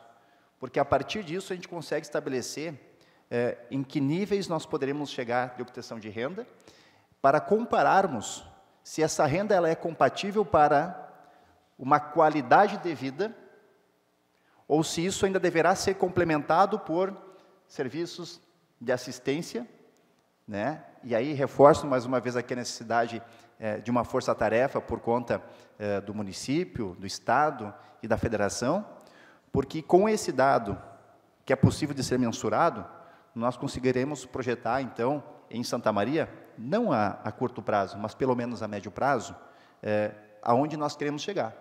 Se isso necessariamente terá que ser subsidiado pelo município, pelo fundo, quem sabe, via Condema, mas eu acho que é um dado extremamente importante. Então, a pergunta é essa. Dentro dos estudos, qual é a, a renda média das regiões, dos catadores nas regiões onde já está consolidado essa questão da coleta seletiva pelos catadores, e que índice nós podemos alcançar a médio e longo prazo em Santa Maria. Então, abro aqui já com, com, com essas perguntas para que nós possamos fazer essa segunda, uh, esse segundo momento aqui de interação, então, entre os debatedores. Por favor, Ivan. Agora tem dois. então, eu acho que é uma a realidade, e eu tra vou trazer alguns contextos. Né? Uh, eu sempre digo, e, e eu acho que eu esqueci de elogiar na minha fala, da mesma forma que tu me elogiou, hoje o contrato com a Asmar só foi possível pelo trabalho do Ministério Público do Trabalho. Né? Uh, eu brinco que eu tinha desenhado todo o sistema baseado que não havia nenhuma uh, associação que tivesse um caminhão com as mínimas capacidades de fazer a coleta. Então eu dizia, a gente vai contratar triagem para uma associação e eu já consigo dizer que não tem como uma, uma associação fazer a coleta porta a porta. No dia que eu fui conversar com a dona Margarete para triagem, né, de começar a estruturar, ver o licenciamento, ver toda essa parte, foi um dia depois que ela recebeu o caminhão. Eu saí da reunião tipo assim, ó, perfeito, resolveu um problema que eu tinha, e facilitou muito a vida. Né? Então, parabenizar muito esse esforço. E por que eu volto também a dizer o esforço? Uh, acompanhando esse sistema, algumas, uh, algumas condições né, foram cobradas da dona Margarete e da Asmar em função da ajuda. E uma delas era aumentar o número de pessoal. E era uma coisa que não é fácil. Né? Hoje a realidade, ou melhor, era, felizmente, uh, quando eu cheguei para conversar, para entender o sistema, uh, na associação, então, sem um apoio do poder público, uh, vamos supor que o máximo de rendimento médio no mês fosse 700 reais. Né? Isso é um valor que dá uma sobrevivência mínima, se isso. E quando a gente foi buscar fora né, as realidades, a gente encontrou diferentes obviamente todas essas com aportes e contratos com o Poder Executivo, de associações conseguindo pagar em torno de R$ 1.300 até o ápice que a gente conseguiu uh, acompanhar, que daí é uma, é uma situação que em Santa Maria não é possível, que é uma estação de triagem completa, ou seja, quando o município não tem um aterro na, né, na própria cidade, uh, existe uma estação de transbordo, ou seja, todo o resíduo coletado é descartado naquele local, que é então passado para veículos maiores para direcionar para o aterro. E com isso, né, nessa realidade, se consegue triar todo o resíduo produzido no município. E nessa cooperativa, os, os cooperados ganhavam mais que três salários mínimos. Então, é uma realidade né, muito uh, utópica para Santa Maria por enquanto, mas é possível. Hoje, com o nosso contrato, então, na hora de confeccionar ele, foi feito todo o dimensionamento. E aí eu volto a dizer do Codeco, é uma o, o trabalho para legalizar um contrato desses não é simples. Né? Hoje o, o, TCL tem muito apontamento, ainda mais que é o assunto dos nossos contratos de resíduos, então eles têm uma estrelinha especial pelo volume né, de valores e acaba que o da seletiva entra na mesma. Então foi feito toda uma tabela de custos e ali a gente garante para o número né, especificado no projeto é um salário mínimo, a contribuição do INSS e um vale transporte. Né? Então são as três coisas que a gente consegue delimitar. Só que a concepção e a realidade disso, do impacto que esse contrato tem na associação, ele é muito mais complexo.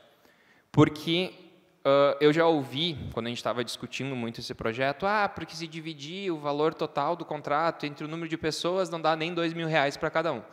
Eu digo, gente, vocês têm que entender. Existe o montante do contrato, existe o montante de verbas e tem que considerar todos os gastos fixos que já existiam que o contrato abate. Então, hoje, pelo que a gente está acompanhando esse primeiro mês, uh, vai ser um pagamento médio superior a esses R$ 1.300. E eu digo que, porque o modo de, de partilha e o modo de divisão já teve o primeiro adiantamento no contrato e teve gente que recebeu o adiantamento do mês superior a esse valor. Então, nessa situação da Asmar, a gente já teve uma mudança de realidade. E o que, que acontece? Uh, a Asmar ela já presta outros serviços. Né? Então, por enquanto, ela tem um número mínimo para prestar os serviços do, do município. Então, tem espaço. E tem espaço para agregar pelo menos mais umas oito pessoas, no mínimo né, que financeiramente as pessoas continuariam ganhando esse valor. Só que o que acontece? Uh, existia muito essa ideia dos 700 reais. O catador individual, o catador que está na rua, ele consegue tirar mais que isso, seguindo os horários dele, recebendo diariamente, porque a gente sabe a necessidade de um planejamento financeiro para aquele salário do início do mês durar o mês inteiro. Não é uma coisa simples. Né? Eu, pelo menos pessoalmente, eu tenho um problema com isso. Então, tu imagina tirar uma pessoa e propor, ah, tu vai trabalhar em horário das 6 às 14, né? supomos, uh, e tu vai ganhar dia 15 e dia 30. Essa realidade muda.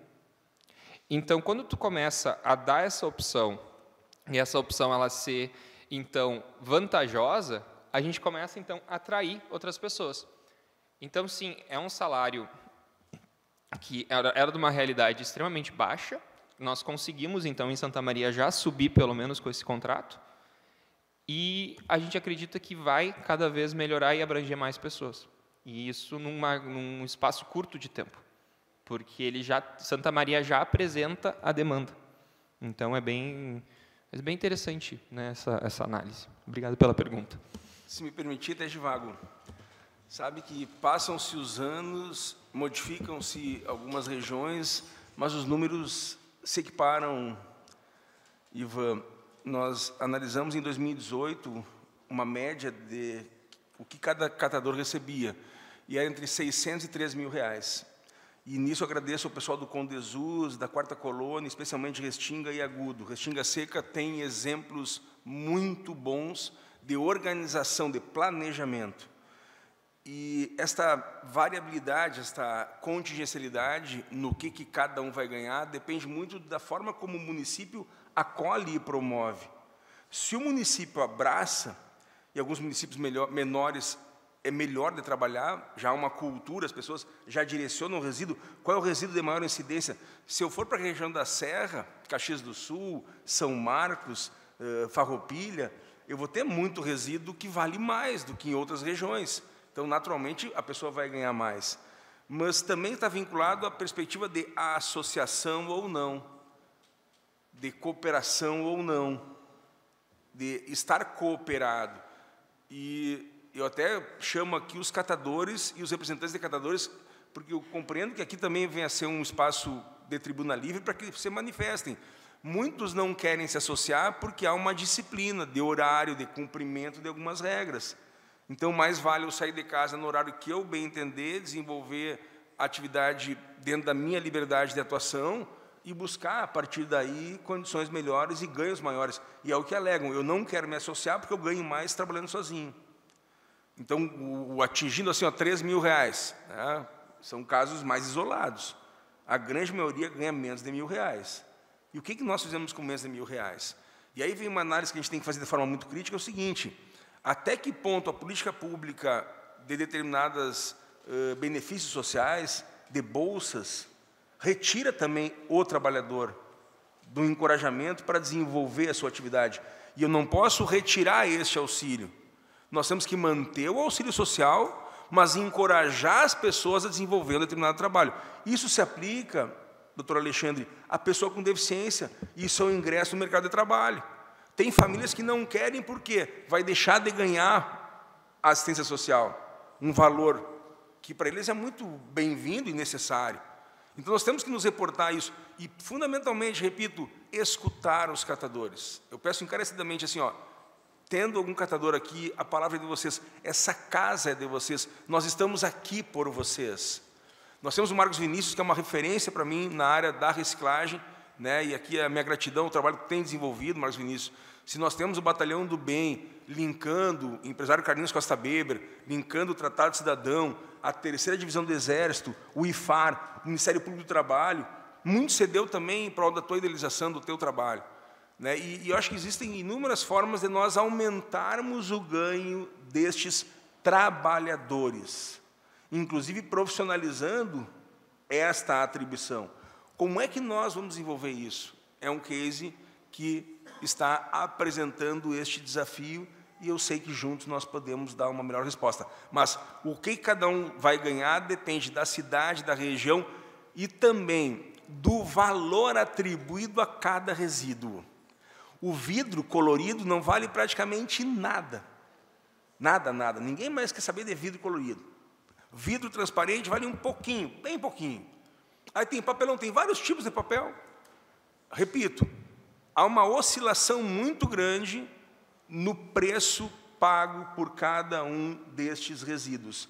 E nós estaríamos aí diante de um cartel, nós estaríamos aí diante também de grupos economicamente fortalecidos que conseguem, ao arrepio do Estado, manipular estes valores, manipular, que eu digo assim, ó, determinar quando baixa, quando sobe determinados valores.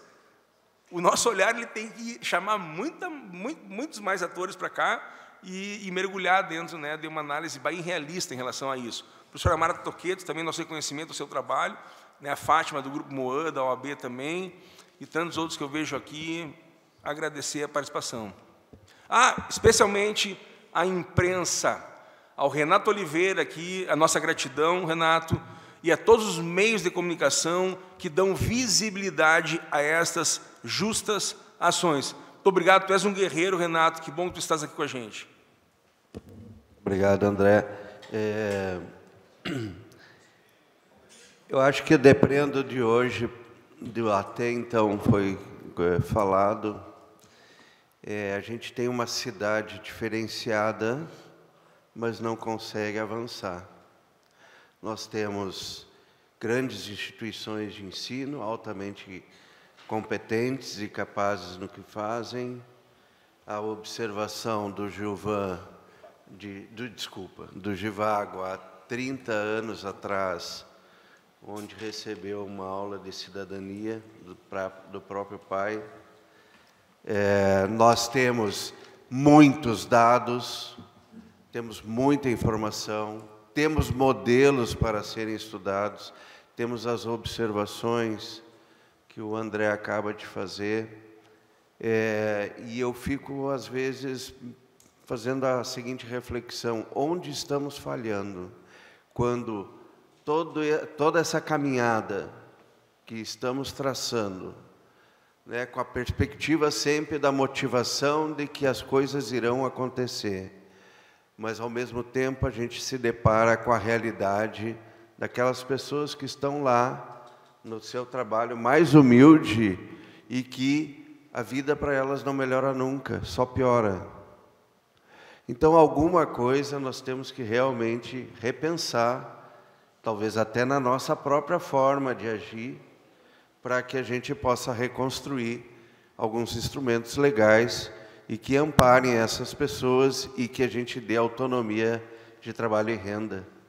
Esse é o papel é o nosso papel enquanto instituição de olhar para a sociedade, mudando e gerando uma transformação para melhor.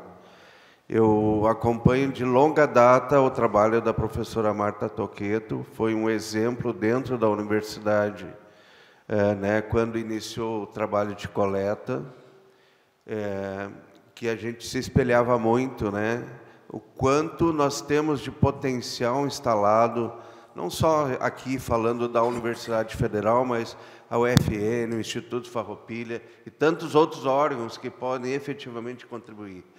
Mas me, me toca muito mais hoje, neste momento, a possibilidade de estar aqui representando a Pró-Reitoria de Extensão, é, o compromisso do Givago e, quem sabe, no terceiro fórum nós estejamos analisando os termos do, do Plano Municipal de Resíduos Sólidos. Acho que se a gente conseguir fazer isso, é, eu acho que este evento de hoje já cumpriu a sua função. E a universidade sempre é parceira, né, é, em todas as atividades, e eu fico muito lisonjeado de ter ouvido os dados tão efetivos, né? A gente tem tudo na mão. Está faltando alguma, está faltando aí algum meio, né, de, de conexão aí para que a gente possa montar um, um efetivo plano. Nós temos competência, temos, né, know-how. É uma cidade diferenciada é, sobre todos os aspectos, né? O maior índice de pessoas qualificadas do Brasil por quilômetro quadrado está em Santa Maria. Quer dizer, não é possível que a gente não tenha um plano ainda é, para dar e para servir de exemplo para o resto do Brasil. Então, fica aí a disponibilidade da universidade. Essa seria a minha intervenção final e eu acho que é, o doutor Alexandre Está com a palavra, por favor. Eu só queria complementar uma informação. O senhor disse muito bem: nós temos dados, temos instrumentos, temos conhecimentos e temos dispositivos legais que autorizam a gente a agir. Então, só para complementar a fala do, do, do André e, e, do Ivan, a, rece... a renda dos, catador... dos trabalhadores nas associações também depende muito do material comercializado. Por exemplo, o vidro ele tem um valor agregado muito baixo, 3, 4 centavos a depender da cor, para a comercialização triturada. Mas se a gente fizer o caminho inverso, Aquelas garrafas de vidro, de suco, de um litro e meio, elas pesam em média 700 gramas. O custo da tonelada é 375 reais, entre coleta e deposição em aterro final. Multiplicado continha de padaria, 30 centavos cada garrafa que o município gasta para recolher e enterrar no aterro. O custo de comercialização, a renda para a associação talvez não seja muito alta. Mas o custo para o poder público entre coletar e aterrar além do custo ambiental, é gigantesco. Então, e aí é, é um chamado que eu faço, inclusive, se possível, a gente utilizar o Condema para isso, criar algum mecanismo.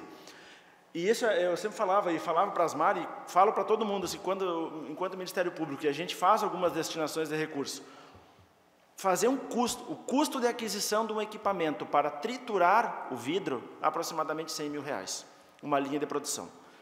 Obviamente que uma associação não vai ter condições de pegar 100 mil reais e, e adquirir.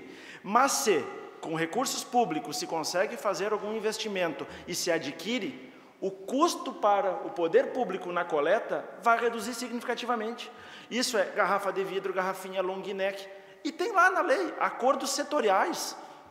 Eu não vejo hoje, nos supermercados, por exemplo, nenhum ponto de coleta para vidro.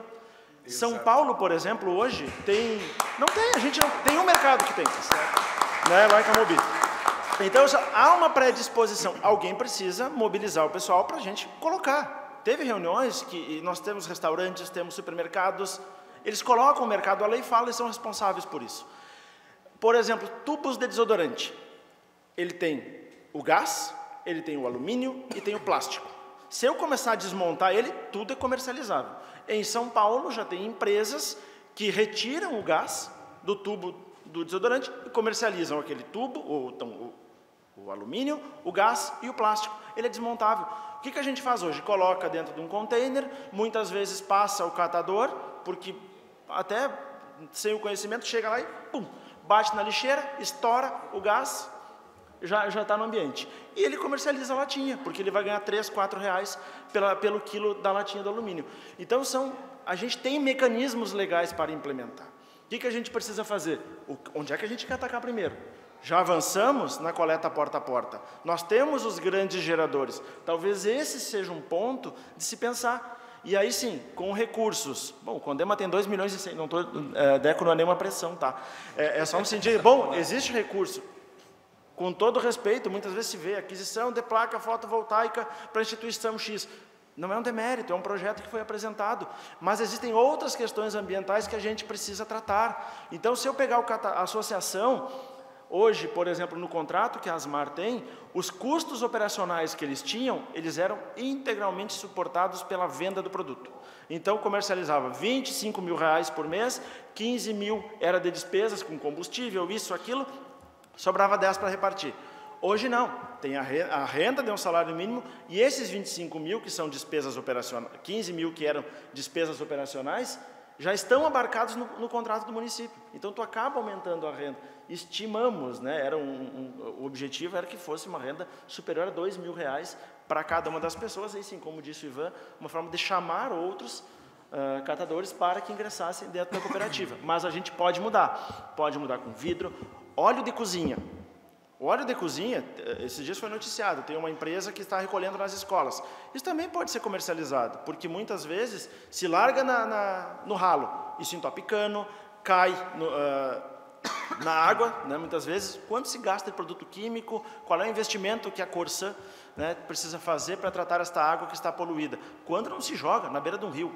Então tem todo esse custo ambiental que talvez financeiramente para a associação, porque iniciativa privada ela investe 100 mil, ela tem que, tem que recuperar este investimento.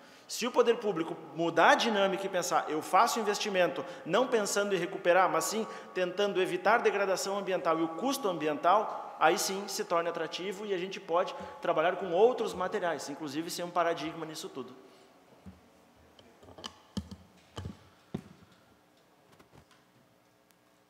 Quero aproveitar o tempo que nos resta e, e e trazer aqui uma, uma questão que eu também eu tomei nota. A questão da ampliação do serviço, obviamente, ela requer uh, novos investimentos e, e de alguma forma, uh, a interação da sociedade de modo geral para que isso aconteça de forma eficiente. Nós estamos com um primeiro modelo. Óbvio que, a exemplo de outros municípios e outros estados, e eu sempre vou repetir aqui, Jadete, o exemplo de Cascavel, porque estive lá, próximo mês provavelmente estarei retornando, porque Cascavel dá de novo exemplo, né? Primeiro município, acho que do Brasil, a, a adquirir é, para a frota né, do transporte coletivo ônibus né, elétricos. Então, isso é um case de sucesso e a gente tem que, que buscar esses bons exemplos. Ah, mas lá é diferente, lá é outra cultura, lá tem indústria, enfim mas 20 anos antes esse processo foi iniciado. Então nós estamos falando de, uma, de um processo construído ao longo do tempo. E nós estamos dando esse início também, né, Ivan? Então, para que nós possamos avançar dentro desse planejamento para outras regiões da cidade, é, o, que, que, o que, que se faz necessário? De modo bem, bem simples, objetivo e, e, e direto, para que a comunidade que nos assiste, que nos prestigia hoje aqui também nas galerias, para que a gente comece a tomar consciência. Quais são os princípios básicos para ampliação desse serviço, né, por meio das cooperativas e associados, no sentido é, que, no momento oportuno, a médio e longo prazo, a, se não a totalidade, mas quase a totalidade da cidade seja atendida pelo serviço de declaração seletiva. Então, uh, deixa eu afastar um pouco. Eu sou muito como eu já disse mais uma vez, eu não sei se eu sou realista ou pessimista, né? Então, eu tô da ideia de começar pequeno, garantir que funciona, entender o sistema e começa a avançar, né? Então, hoje, quando a gente estava lá em setembro e depois, posteriormente, em janeiro, que foi quando né, já começou esse movimento mais forte, uh, qual era as duas garantias que eu queria ter. Né? E ouvindo várias reclamações do passado, então era o, o Asmar não passava no horário certo. Ah, porque uma semana vem, outra semana não vem, porque vai, não vai, marca, não aparece, eu quero. Eu digo, tá. Primeira coisa, garantir a constância do serviço. Sem constância, a gente não gera hábito, sem hábito, a gente não gera educação ambiental e triagem. Então, primeiro passo, garantir impreterivelmente que o caminhão vai passar na rua que a gente disse que ele vai passar, no horário e no dia que a gente disse que ele vai passar. É o primeiro passo. O segundo passo, uh, se teve né, o, a ideia de que no momento que eu faço a triagem do meu resíduo e esse resíduo eu descubro que ele foi para aterro, qual é o sentido de eu fazer minha triagem em casa? Nenhum. Então a gente já tem essa outra barreira. Então, quais são os dois balizadores né, do avanço? Que sempre passe a coleta e que nenhum grama coletado de material reciclável vá para aterro. Então, o que, que eu tenho que garantir? Eu tenho que garantir que é o meu sistema, né? porque o contrato da Asmar ele é dividido em dois itens. É né? importante deixar bem isso destacado. Uh, a gente paga pelo sistema de coleta, então, o valor aproximado, como são valores públicos, dá mais ou menos 20 mil reais pela coleta, que paga uh, seis associados, o caminhão, o diesel, a depreciação, a manutenção, pneu, IPVA, tudo que tu imaginar de custos, como qualquer outra empresa. Né? Então, por exemplo, a gente pega o contrato da Sustentar e é exatamente os mesmos índices, só muda os valores do caminhão, né? que a gente está falando no universo de 2 milhões um caminhão. Então, muda a escala. E a gente tem o contrato de triagem. Né? O que, que acontece? Uh, muita coisa é feita de forma manual, muita coisa estava estragada, não se tinha. Bem, o, o, os valores agora no primeiro mês, eu acho que grande parte do contrato nem vai para partilha porque foi para pagar conta. Começou a vir boleto, eu, porque agora a, a fiscalização ela exige um contrato, um, um, uma fiscalização muito esmiuçada, péssima palavra, mas do, do financeiro, exatamente porque TCE cai em cima. Ah, não, mas está fazendo a partilha porque não é um contrato tradicional, porque não tem a prestação de contas uh, né, padrão de uma empresa, perfeito. Então, são as duas coisas então, que eu quero dizer. A gente tem dois núcleos. Então a gente tem a triagem e a gente tem a coleta. A coleta depende 100% da participação das pessoas. Né? Eu consigo aumentar a coleta, só que volta ao ponto inicial. Eu não vou ter resíduo reciclável indo para aterro. Então eu preciso garantir que a minha triagem está funcionando. É um dimensionamento prévio. Uh, Há uma situação específica nas MAR que a gente está lidando, que durante a pandemia eles tiveram vários períodos que eles não puderam trabalhar, só que as pessoas continuaram produzindo resíduo. Então, hoje a gente está numa missão de limpar o galpão para entender exatamente qual, você já tem um passivo tão grande de resíduo que eles estão produzindo no máximo, está tendo esse resultado, só que eu não sei se o resíduo que está entrando pela coleta, ele está sendo triado, está aumentando, está diminuindo, e eu não sei qual é a real capacidade de triagem. No momento que essa real capacidade é comprovada que não, está entrando resíduo, está sobrando tempo para triar, vamos aumentar o contrato da coleta. Vamos atender mais 12 bairros. Vamos estudar qual é a possibilidade. E, de novo, o sistema ele vai aumentando. Né? No momento que eu tenho a capacidade de triagem, eu tenho a coleta. Essa coleta ela se paga, então a ASMAR não depende do material coletado para passar daí vem aquela função né, de periodicidade, de não falhar, e assim ele vai avançando. Uh, e junto, obviamente, o sucesso do sistema mesmo depende então da educação ambiental. Né? Isso é um trabalho de gerações. Isso a gente não vai. É, isso sim não é ser pessimista, é ser bem realista. Isso é uma coisa que a gente vai mudar com muito tempo. Uh, a gente falou muito em cidade pequena, né? Eu sempre gosto de dizer que a problemática do resíduo é exponencial pelo tamanho da cidade. Eu vim numa cidade de Panambi. Panambi é uma cidade bem, é aquela famosa colonização alemã muito certinha. Eu lembro de estar com, sei lá, na pré-escola e visitar o antigo lixão, que na época ainda era um lixão, mas tinha uma estação de triagem onde a população já dividia então entre seco e úmido. Então essa triagem já era feita e o seco era classificado para venda. Isso a gente está falando nos anos 2000. E já tinha esse costume. Minha mãe, quando veio para Santa Maria, ela se mudou faz pouco, ela dizia, Ivan, me dói misturar o resíduo aqui. E daí ela me olhava com uma cara e eu sei que tu que vai resolver isso. Eu digo, tô tentando, tô tentando. eh, se, me permitir, se me permitires, Ivan, Givago, colegas na mesa, primeiro destacar um trabalho jornalístico do Ricardo Ritzel, que nos anos 90, início dos anos 90, fez um documentário no lixão de Santa Maria. E é um documentário que a gente vê e chora, porque ele, ele entrevista um casal que morava no lixão, e esse casal começa a mostrar as coisas que eles tinham na sua casa, que eram todas advindas do lixão. Então, os brinquedinhos, e a ingenuidade, a pureza deste casal falando neste vídeo, nesta produção, do então iniciando os trabalhos de jornalismo, Ricardo Ritzel. Eu quero destacar aqui também as pessoas que estão na linha de frente destes trabalhos. Alexandre, falaste no vidro. Muito pouca gente se importa com vidro.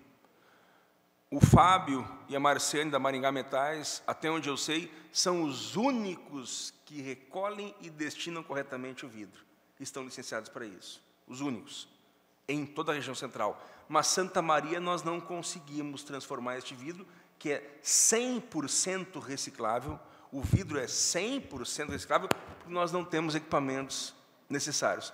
Então, nós temos que constituir, através do Estado, o equipamento para que esse vidro não tenha que ir para São Leopoldo, não tenha ir para Caxias, para dar uma destinação. Olha as toneladas do combustível que você gasta por uma matéria-prima que hoje, infelizmente, não tem valor. Mas vamos lá. Sabem que a Maringá Metais ela foi autuada pela Prefeitura em 2018 porque ela construiu um pavilhão com uma dimensão um pouco maior do que aquela que tinha sido acordada. E isso gerou mais de 30 dias de paralisação no seu trabalho. E eu perdi a conta de quantos empresários foram me pedir, suplicar, para que nós liberássemos a operação na Maringá Metais. Porque todo o volume de vidro produzido em cada bar, em cada restaurante, em cada empresa, estava ou sendo colocado nos containers ou indo para os arroios. E nós tivemos aquele mês o maior volume de peso dentro da coleta e destinação de resíduos para o aterro. E é bem como tu falaste, o vidro pesa muito para o município de destinar. Quando nós criamos o container laranja, nós fizemos um estudo que seria possível colocar 150 contêineres laranja, contratar um caminhão específico para recolher os resíduos do laranja e levar para a cooperativa por um adicional de 28 mil reais por mês no contrato. Isso não é nada para quem gasta 1 milhão e 800 mil reais por mês nos focos determinados. Sem os lixos, são 118 pontos regulares de destinação de lixo. Fora esses 118 pontos, o que tem tradicional, 1.800.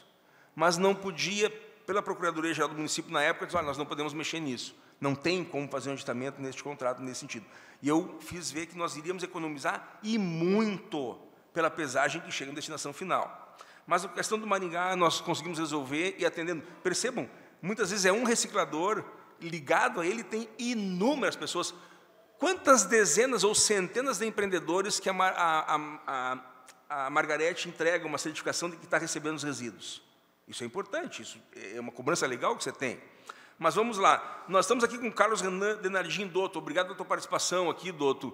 E tu és um exemplo também na transformação do óleo de cozinha em sabão. Aliás, muito bom o teu sabão, estou utilizando direto lá em casa, faz bastante espuma, está aprovado o produto, tá? Nós temos o João Heitor, da Companhia do Óleo, e toda a turma da Companhia do Óleo também, que tem trabalhado não só nas escolas, mas também nos quartéis. Temos que ampliar este trabalho e potencializar estes trabalhadores dentro deste serviço. E eu gostaria de fazer uma propaganda aqui da minha amiga Elise Brasil, que além de ter um bom gosto, e a gente vê no produto que ela está desenvolvendo, né? aliás, todos esses enfeites aqui, uh, Tá de parabéns, Lise. Tá? Eu, eu até peço uma salva de palmas para a Lise, porque toda a turma da Arceli, a MAR, que a Associação Mãos né, na Reciclagem, Ó, ah, para, Marta, parabéns, Marta. Vê como nós somos células do mesmo tecido, partes do mesmo corpo, cada um com uma função, está lá em Romanos, né? A gente tem que reconhecer isso. Aliás, quem tiver interesse, eu sei que a Lisa já está comercializando, fazer aqui o, é, como é que se chama? É, o marketing do produto, né? Pessoal, a indústria têxtil representa o segundo maior poluidor do mundo. E aí eu parabenizo mais uma vez o Marcos Vinícius por estar tá lançando um olhar sobre este produto. Quanto o quartel iria gastar para destinar estes resíduos da forma adequada? E o que nós estamos conseguindo fazer com este material? Então nós temos que seguir esses bons exemplos e mais, exportar estes bons exemplos. E eu termino a minha fala porque eu vi uma mão muito importante levantada e agradeço a participação da professora Marta Toqueto, está com a senhora a palavra. Tem o microfone ali, por favor. Professora Marta, por favor. Pode usar a tribuna.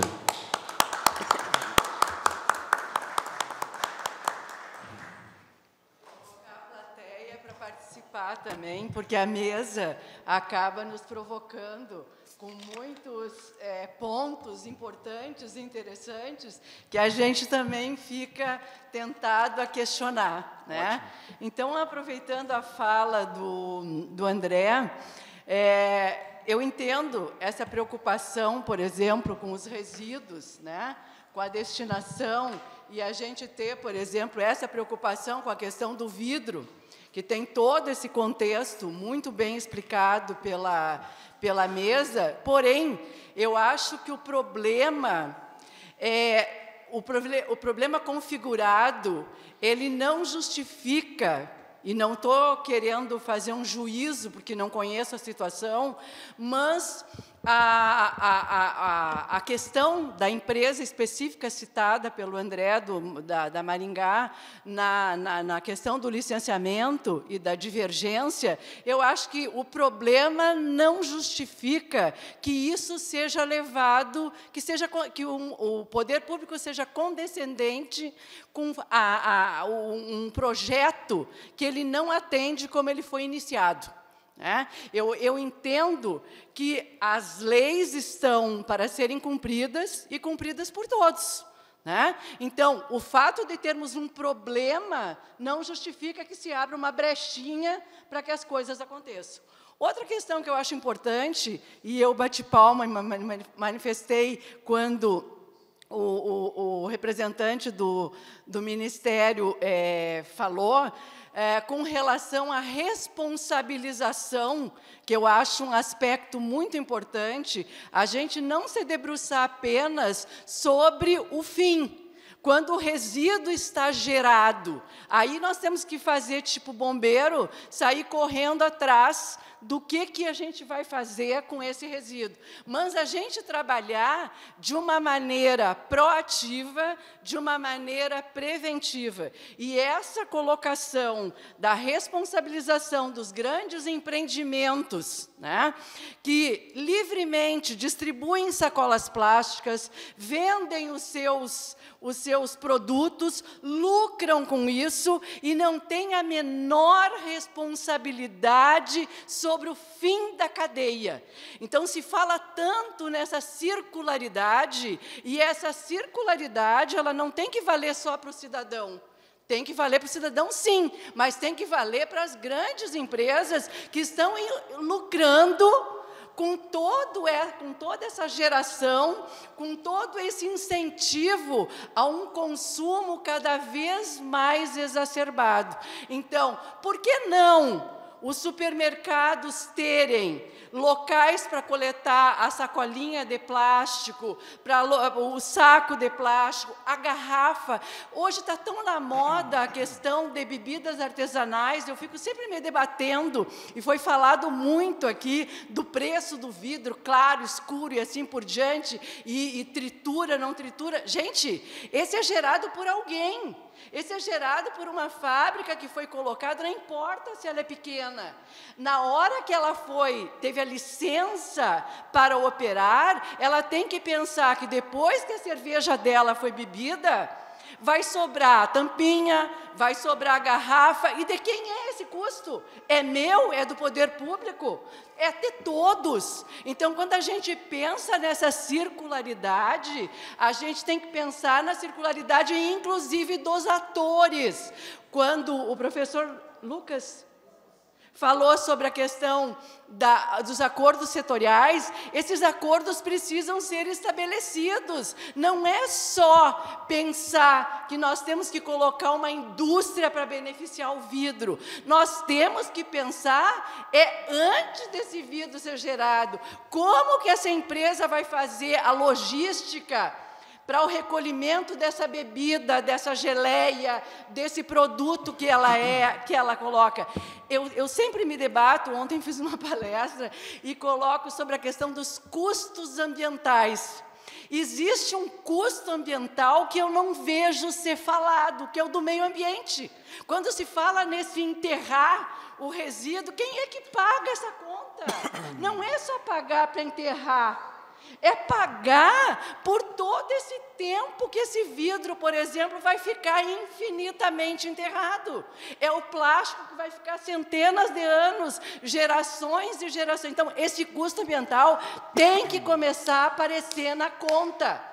O meio ambiente não é uma latrina, não é um almoxarifado que nós vamos lá, catamos as coisas, processamos e largamos na lata do lixo, damos as costas e consumimos de novo. Então, neste plano de vago que está sendo pensado, né, no plano municipal, é, é, dos resíduos, a gente tem que pensar nisso. É pensar não só no final, depois que o resíduo está gerado, que o problema está criado.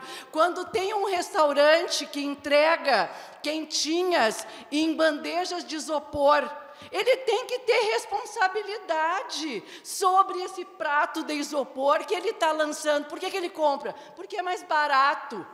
Quer dizer, mas é, é essa conta mais barato para quem? Mais barato só nesse preço e no meio ambiente quanto custa? Ninguém faz essa conta. Então, esses aspectos eu acho que eles são extremamente importantes e por isso que eu bati palmas quando eu quando eu ouvi né, alguém falar sobre essa questão, que é uma questão que me angustia muito, é não a gente pensar só no final, mas a gente pensar de uma forma holística, de uma forma circular e se debruçar sobre isso. Então, eu acho que este plano municipal e Santa Maria pode dar uma. Ah, um exemplo e ter um protagonismo na elaboração deste plano é se ela pensar não apenas quando a gente fazer a lista, ah, o que, a gente faz com alumínio? Ah, faz isso. O que, a gente faz com vidro? Ah, a gente faz isso. Com plástico, a gente faz isso. Mas assim, o que a gente pode fazer para reduzir esses tipos de plástico? Nós queremos reduzir, por exemplo, o isopor no município de Santa Maria.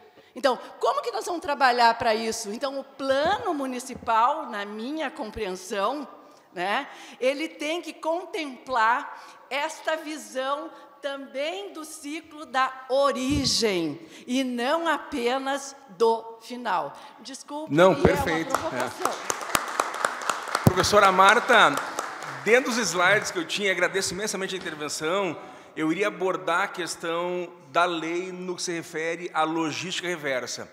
E a senhora que nos acompanhou durante todo o período enquanto secretária do Meio Ambiente, eh, testemunhou uma luta que nós travamos nesse sentido, de chamar a responsabilidade de grandes geradores. Talvez por isso que eu tenha ficado tão pouco tempo na secretaria, né? não fiquei mais de um ano e meio lá, por, por insistir nesta cobrança. Agora, nós temos que também desvendar alguns mistérios aqui. Há uma perseguição clara por parte do Estado em relação a determinadas pessoas. Muitas vezes até parte ideológica, nós não temos uma, uma administração democrática em algumas questões. Não estou falando de Santa Maria, estou falando no sentido geral. Né? Eu estou falando aqui, do, eu falei de uma empresa que ela é licenciada, que todos os trabalhadores recebem e a empresa assume encargos trabalhistas, previdenciários, tributários. Quantas empresas tem em Santa Maria que vivem e atuam a arrepio da lei e oferecem um trabalho análogo à escravidão para aqueles que são subsidiando matéria-prima. Quantos são os empreendimentos de lavagem de automóvel, campo de futebol, com supressão vegetal, onde o Estado não vai e não atua? Então, nós estamos numa perspectiva de um ideal e de um real. o real é o que nós estamos conseguindo trabalhar. O ideal, sim, é cobrar de grandes geradores, shopping center, né, que possa dar uma destinação adequada aos resíduos, mas a realidade, ela cria um espaço, lamentavelmente significativo, de aproximação entre o ideal e o real. Mas eu destaco, as empresas que eu me reportei aqui são empresas que têm uma atenção muito grande aos trabalhadores e empregam muita gente. E eu vejo pessoas que não empregam ninguém, vivem ao arrepio da lei e, por ter algum amigo vinculado à estrutura política, não recebem a fiscalização, a autuação e a responsabilização pelas suas comercializações. Então, nós temos que ter uma sensibilidade. Quando eu me reportei aqui a um caos criado pela suspensão de um trabalho importante para o meio ambiente, eu me reportei não a necessária intervenção do poder público de garantir uma normalidade àquela situação e de fazer cumprir a lei. E quero que você faça para todos, inclusive aos amigos do rei. Mas eu me reportei ao lapso temporal que o Estado demora para dar uma solução. E nós não podemos esperar uma semana para uma solução de uma problemática ambiental. Aliás, dentro da sua fala ali, respondendo, o Poder Judiciário tem feito muito para a justiça ambiental. E eu recomendo aqui leituras dos precedentes do ministro Herman Benjamin, especialmente quando fala da mais-valia no dano ambiental, em dúbio a natura. Nós temos vários precedentes, né? Fala da função ecológica da propriedade, a questão da não prescrição do dano ambiental, mas ele leva em consideração o fator econômico. É interessante Cada voto dele é uma poesia. Tá? Mas obrigado. Mais pessoas participem. Lise, por favor. Agora. Eu não, eu não sou presidente da mesa, mas eu já estou quebrando os protocolos aqui. Ó. Eu já botei a propaganda aqui também. Bom dia a todos. Eu queria saber se tem como o Ivan. Tá se tem como uh, participar, por exemplo, partilha, né? Dar um pouco de coleta para as associações que não podem se regularizar. Uh, infelizmente não. Não. Porque o que, que acontece? Uh, eu preciso comprovar que o destino que eu estou dando é ambientalmente licenciado. Tá. Então, e, e era um problema que tinha no contrato anterior que também era apontado de tipo como é que, na verdade, a própria Asmar não era licenciada na época, né? Então era um contrato que estava tá, com. é só isso, que, então não pode. Infelizmente, tá. da coleta do município não. Tá. E, e os catador, vocês vão fazer algum projeto para eles, alguma coisa para eles? E isso daí eu respondo de novo. Uh, eu posso estar tá falando pela prefeitura, mas não é a minha área. Tá? Eu sou é, responsável tá. pela pela prestação do serviço público de coleta. Tá, mas então vocês, esse é um assunto. Não tem nenhuma esse é, como eu disse, eu na minha pasta não tenho. Tudo eu, eu, eu, eu tá. Não, tá. posso é, falar. É, é a responsabilidade Hoje, do Estado. Tá, obrigada. Não, ó, espera, volta, volta. Lisa. Hoje à tarde com o João Chaves, ele tira essas dúvidas contigo. É. É, eu, eu, acho que o Doutor gostaria Entendeu? de falar também, por favor, utilize a palavra, Doutor. Sim, mas aí tu vai deixar tudo nas costas, vocês todos vão deixar tudo então, nas costas do secretário social. É que é. Isso, isso, se chama competência. Eu, com, é. eu tá, não sim, tenho. Mas tem que ser um conjunto, né? Tem que é. ser todo mundo para ajudar. Lise, Lise, infelizmente, a, a, lei nem sempre é justa. E nós, muitas vezes, enquanto gestores públicos, obedecemos a lei sob pena de, de respondermos um processo. Sim, e, e aí tá. eu compreendo. Percebam, se nós seguíssemos a lei durante todo o período que funcionou a coleta seletiva e foi custeado pelo Estado esse serviço, não poderia nada ter existido, porque nós não tínhamos nenhuma, nenhuma cooperativa associação é, licenciada. A lei também não é cumprida, porque tem certas coisas que nunca foi cumprida Exato, na lei, né? eu sei, mas então, assim, ó, cabe a nós, o Estado Democrático de Direito, conforme Canotilho, é mais que o Estado de Lei. É um Estado de legitimidade das leis, é um Estado de princípios. E cabe a nós fundamentarmos, a partir de princípios constitucionais, a lei maior é a Constituição, uma carta aberta à interpretação, a busca da legitimidade das ações do Estado.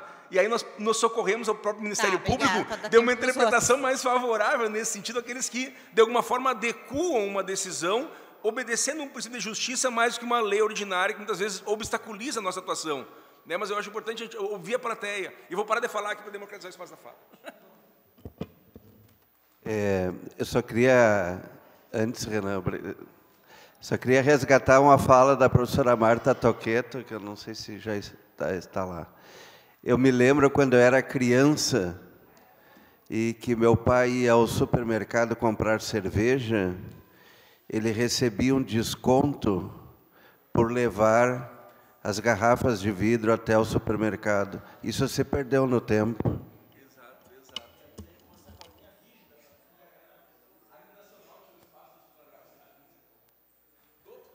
Apenas para contextualizar também justificar é, o porquê que a gente se sente mais à vontade em assumir esse compromisso, obviamente contando com a participação de todos, né?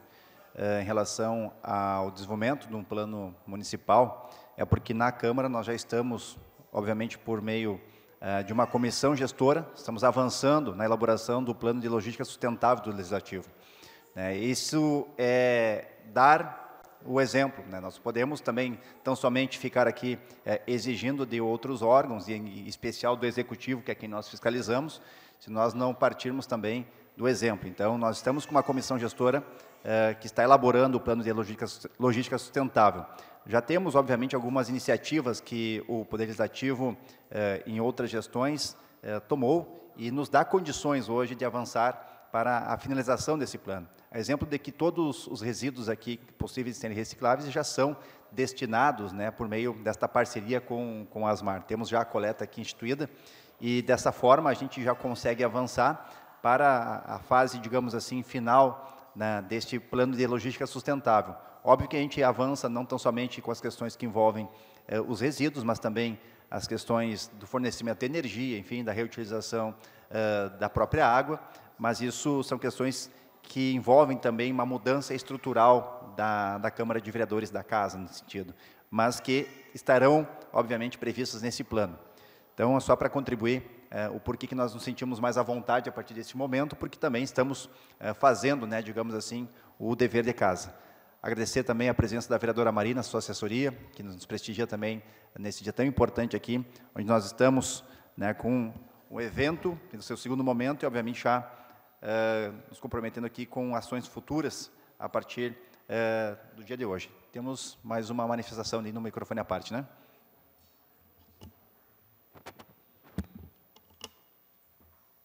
Bom dia. Meu nome é Renan, sou agrônomo, aposentado da Universidade Federal de Santa Maria. O Rudinei me conhece, é testemunha faz 20 anos, né, Rudinei? Que nós trabalhamos em relação ao meio ambiente e recursos hídricos trabalhava junto com o departamento Rodinei. Bom, teria muita coisa para falar aqui, mas o tempo não permite. Tudo que foi dito aqui, ah, eu acho que tem coisas para se discutir e operacionalizar. As coisas têm que acontecer.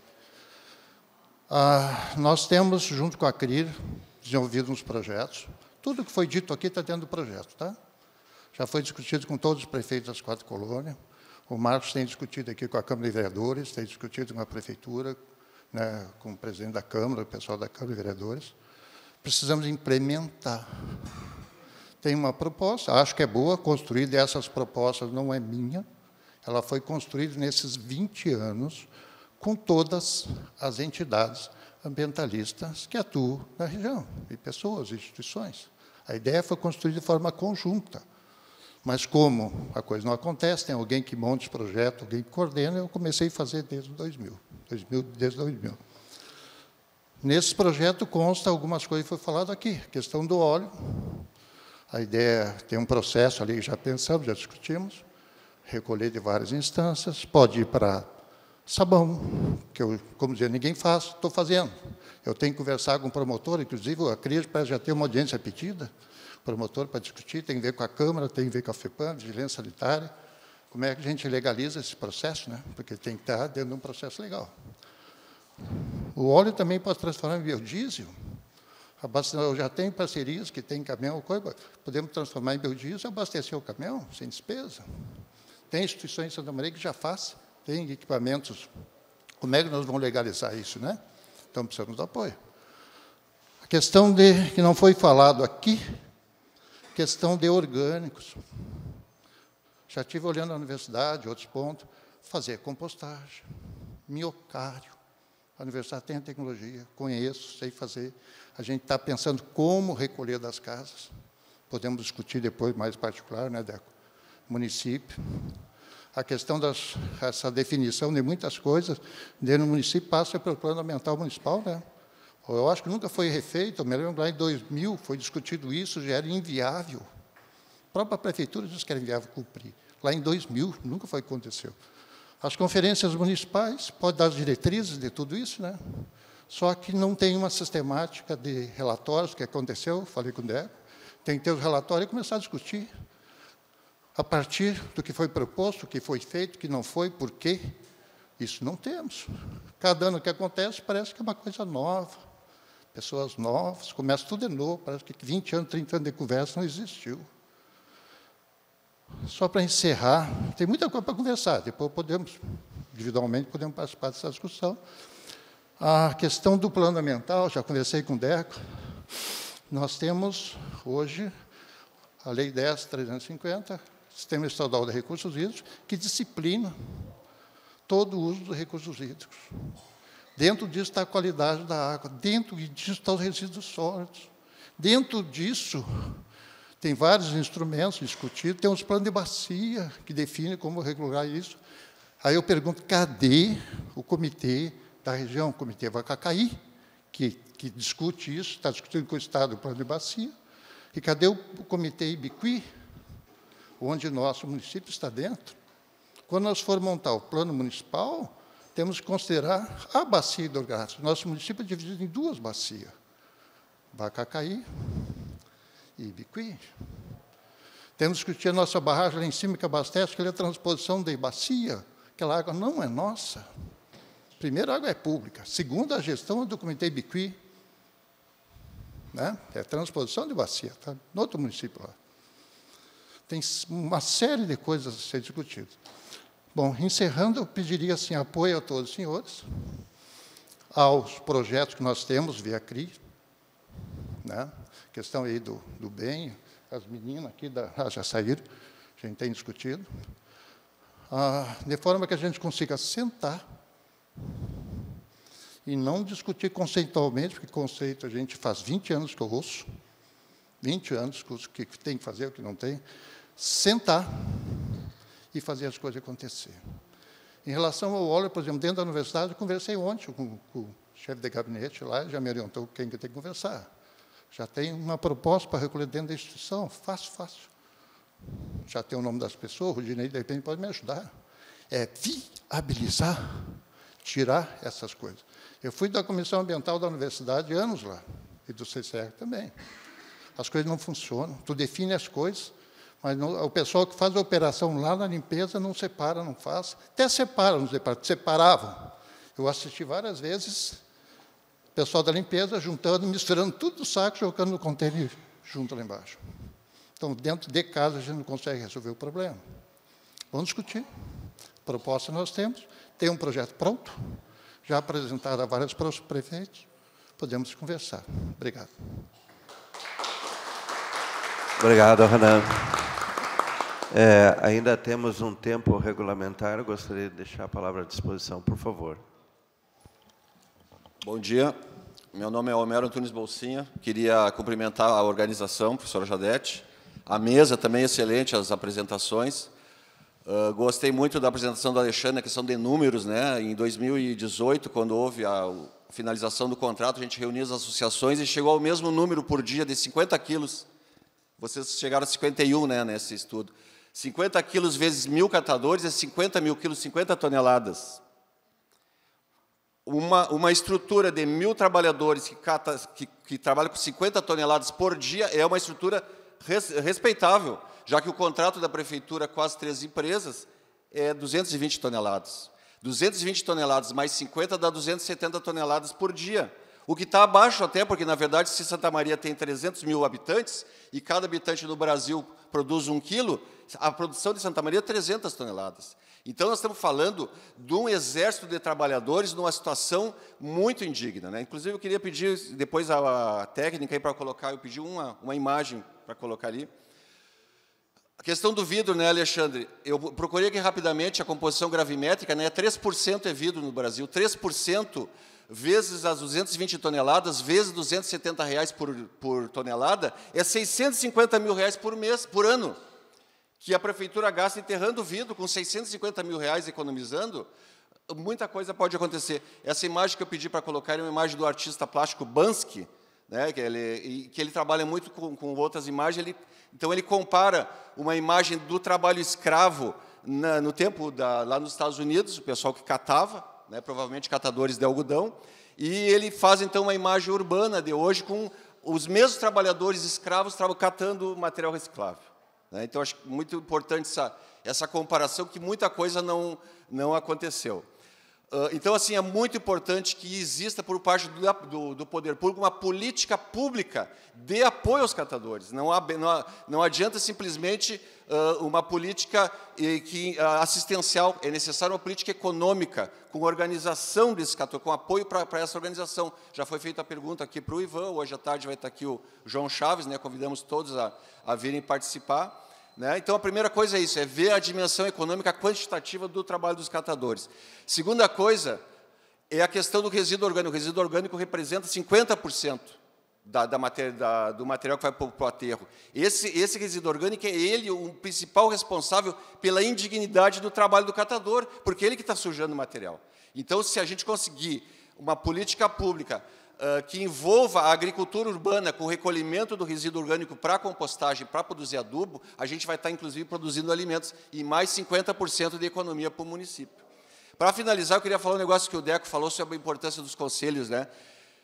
Olha só, existe na, na, na, na, política de saúde o Conselho Municipal de Saúde, o Fundo Municipal de Saúde, o Plano Municipal de Saúde e a Secretaria Municipal de Saúde. Na questão de saneamento básico é a mesma coisa. Existe um Fundo de Saneamento Básico, é o Fundo para Saneamento, além do Fundo do Meio Ambiente. Existe um Plano Municipal de Saneamento Básico, existe uma Secretaria da Infraestrutura, mas não tem o Conselho Municipal de Saneamento Básico. Está faltando o controle social de toda essa estrutura. Né? Então, isso é muito importante. Todas as decisões que o Conselho Gestor do Fundo Pro Saneamento tomou, uh, tomou até hoje podem estar sendo, inclusive, anuladas por falta de um membro.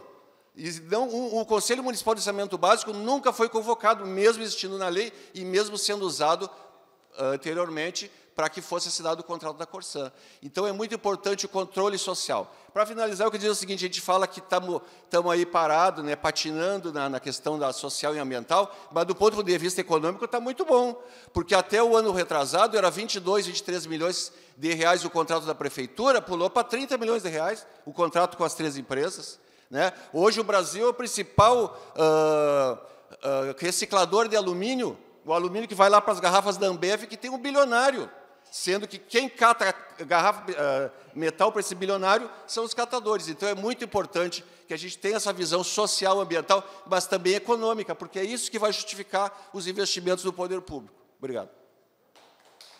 Obrigado. A palavra ainda está à disposição a quem gostar de fazer manifestação.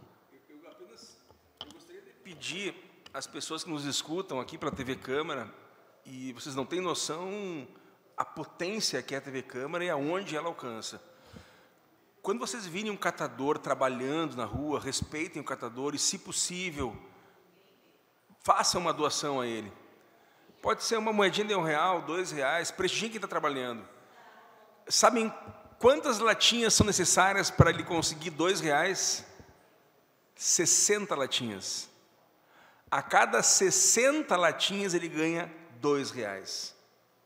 Então calculem quantas latinhas ele tem que conseguir para chegar a 20 reais, a 200 reais. Não é um trabalho fácil. Vamos respeitar mais este profissional. Eu quero destacar aqui, mais uma vez, pessoas que sempre deram uma atenção aos profissionais. A professora Marta está aqui, a, a, a dona Terezinha Domingues está aqui também, a Lise. A professora também. Mas assim, ó, nós estamos sensíveis a essas causas. E não, quando a gente fala em grandes geradores, eu, a gente compra uma briga gigantesca, né? O professor Lud vai querer me matar aqui, mas incluem-se as universidades, incluem-se os hospitais, os quartéis. Nós estamos falando de uma variedade de grandes geradores de resíduos. E a lei tem que existir para todos. Quando a gente ergue uma bandeira nesse sentido, Marta, a gente sofre uma perseguição, uma discriminação e uma exclusão muito grande. Quem trabalha em prol do meio ambiente sabe como é difícil tu desnudar certas verdades. Finalizo com essa de Queiroz. Por trás do manto diáfano da fantasia, a nudez crua da realidade, da verdade. Muito obrigado a todos aí.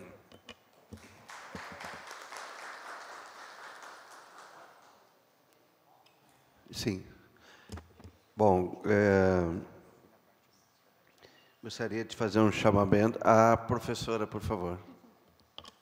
Bom, em primeiro lugar, eu queria agradecer essa mesa maravilhosa e, e aí, acompanhando tudo e o, a complexidade de todo o sistema, acho que a professora Marta Toqueto trouxe né, a, a, ideia da circularidade, da onde a origem de todo esse, esse material que a gente está discutindo, como que ele é separado, encaminhado e reciclado, enfim todo esse contexto. E uma coisa que nos chama bastante atenção e a gente tem discutido no movimento e a gente quer e, e o desafio é realmente nós trabalharmos juntos nessa integração de esforços e, e, e, aproveitar o que já existe, os estudos, os projetos que já existem e fazer uma integração, uma soma de esforços. E o que chama a atenção é a coisa da informação. Acho que muitas vezes esses embates de interesse é mais por desinformação por falta de conhecimento mesmo. Então, tem, temos nós que investir maciçamente ou massivamente uh, em informação e educação. Uma das coisas, por exemplo, que a gente foca neste contrato da prefeitura com a Asmar, o quanto essa parte de capacitação ela tem uma visão a longo prazo, de permanência. Não é só para começar o trabalho, se capacitam pessoas e depois as coisas deixam. Parece que isso seria permanente. Na verdade, tem que haver uma alimentação permanente desse tipo de trabalho. Então, era só mais chamar a atenção disso. Nosso, nosso fórum continua de tarde. Queria agradecer muito aos que vieram nos prestigiar e colaborar. Sem, sem esse conjunto, a gente não vai para frente. Né? Os nossos passos, o nosso caminhar, fazer o caminho, é dar passos à frente, e esses passos precisam desse conjunto que a gente começa a enxergar melhor. Eu tenho aprendido muitíssimo, e por isso eu sou testemunha da, da coisa da ignorância, do quanto nós somos inativos, mas por desconhecer né, essa coisa da separação do lixo, essa compreensão que esse lixo que a gente produz, ele pode ser reduzido à medida que a gente tem esse senso crítico, né? De como é que ele chegou até nós e por que, que agora nós temos que descartar e como que nós fizemos isso. Então, era só isso que eu queria chamar a atenção, parabenizando mais uma vez e convidando-os todos para detalhes continuar. Obrigado. Obrigado, professora. Vamos, então, encaminhando para o encerramento da manhã. É, agradecer ao Movimento Tratado Cidadão pelo convite que nos foi feito para, à frente da mesa, estar coordenando a manhã de hoje. É, em nome da universidade, muito obrigado, professora, que representa aqui o nosso movimento Tratado Cidadão. É, coordenamos, então, hoje a mesa de gestão de resíduos sólidos em Santa Maria, o que os catadores fazem e como eles podem fazer melhor. Agradecer a cada um dos componentes da mesa, ao Ivan Nazarov, que representa o Poder Legislativo, Executivo, perdão, da Secretaria Municipal de Infraestrutura, ao Alexandre Marim, representando o Ministério Público do Trabalho, Poder Judiciário, ao professor Lucas Ávila, representando a incubadora social da Universidade Federal de Santa Maria, ao Givago Ribeiro, nosso presidente da Câmara de Vereadores, representando o Poder Legislativo, e ao André Domingos, representando o Conselho Municipal de Defesa do Meio Ambiente, CONDEMA. É, gostaria de enfatizar que o evento não, não termina, né? À tarde, então, teremos a mesa 2, com a roda de conversa, com a participação dos atores, talvez os principais atores envolvidos com as coletas e os encaminhamentos de resíduos sólidos. Nossa, muito obrigado a todos pela presença e nos reencontramos às 14 horas.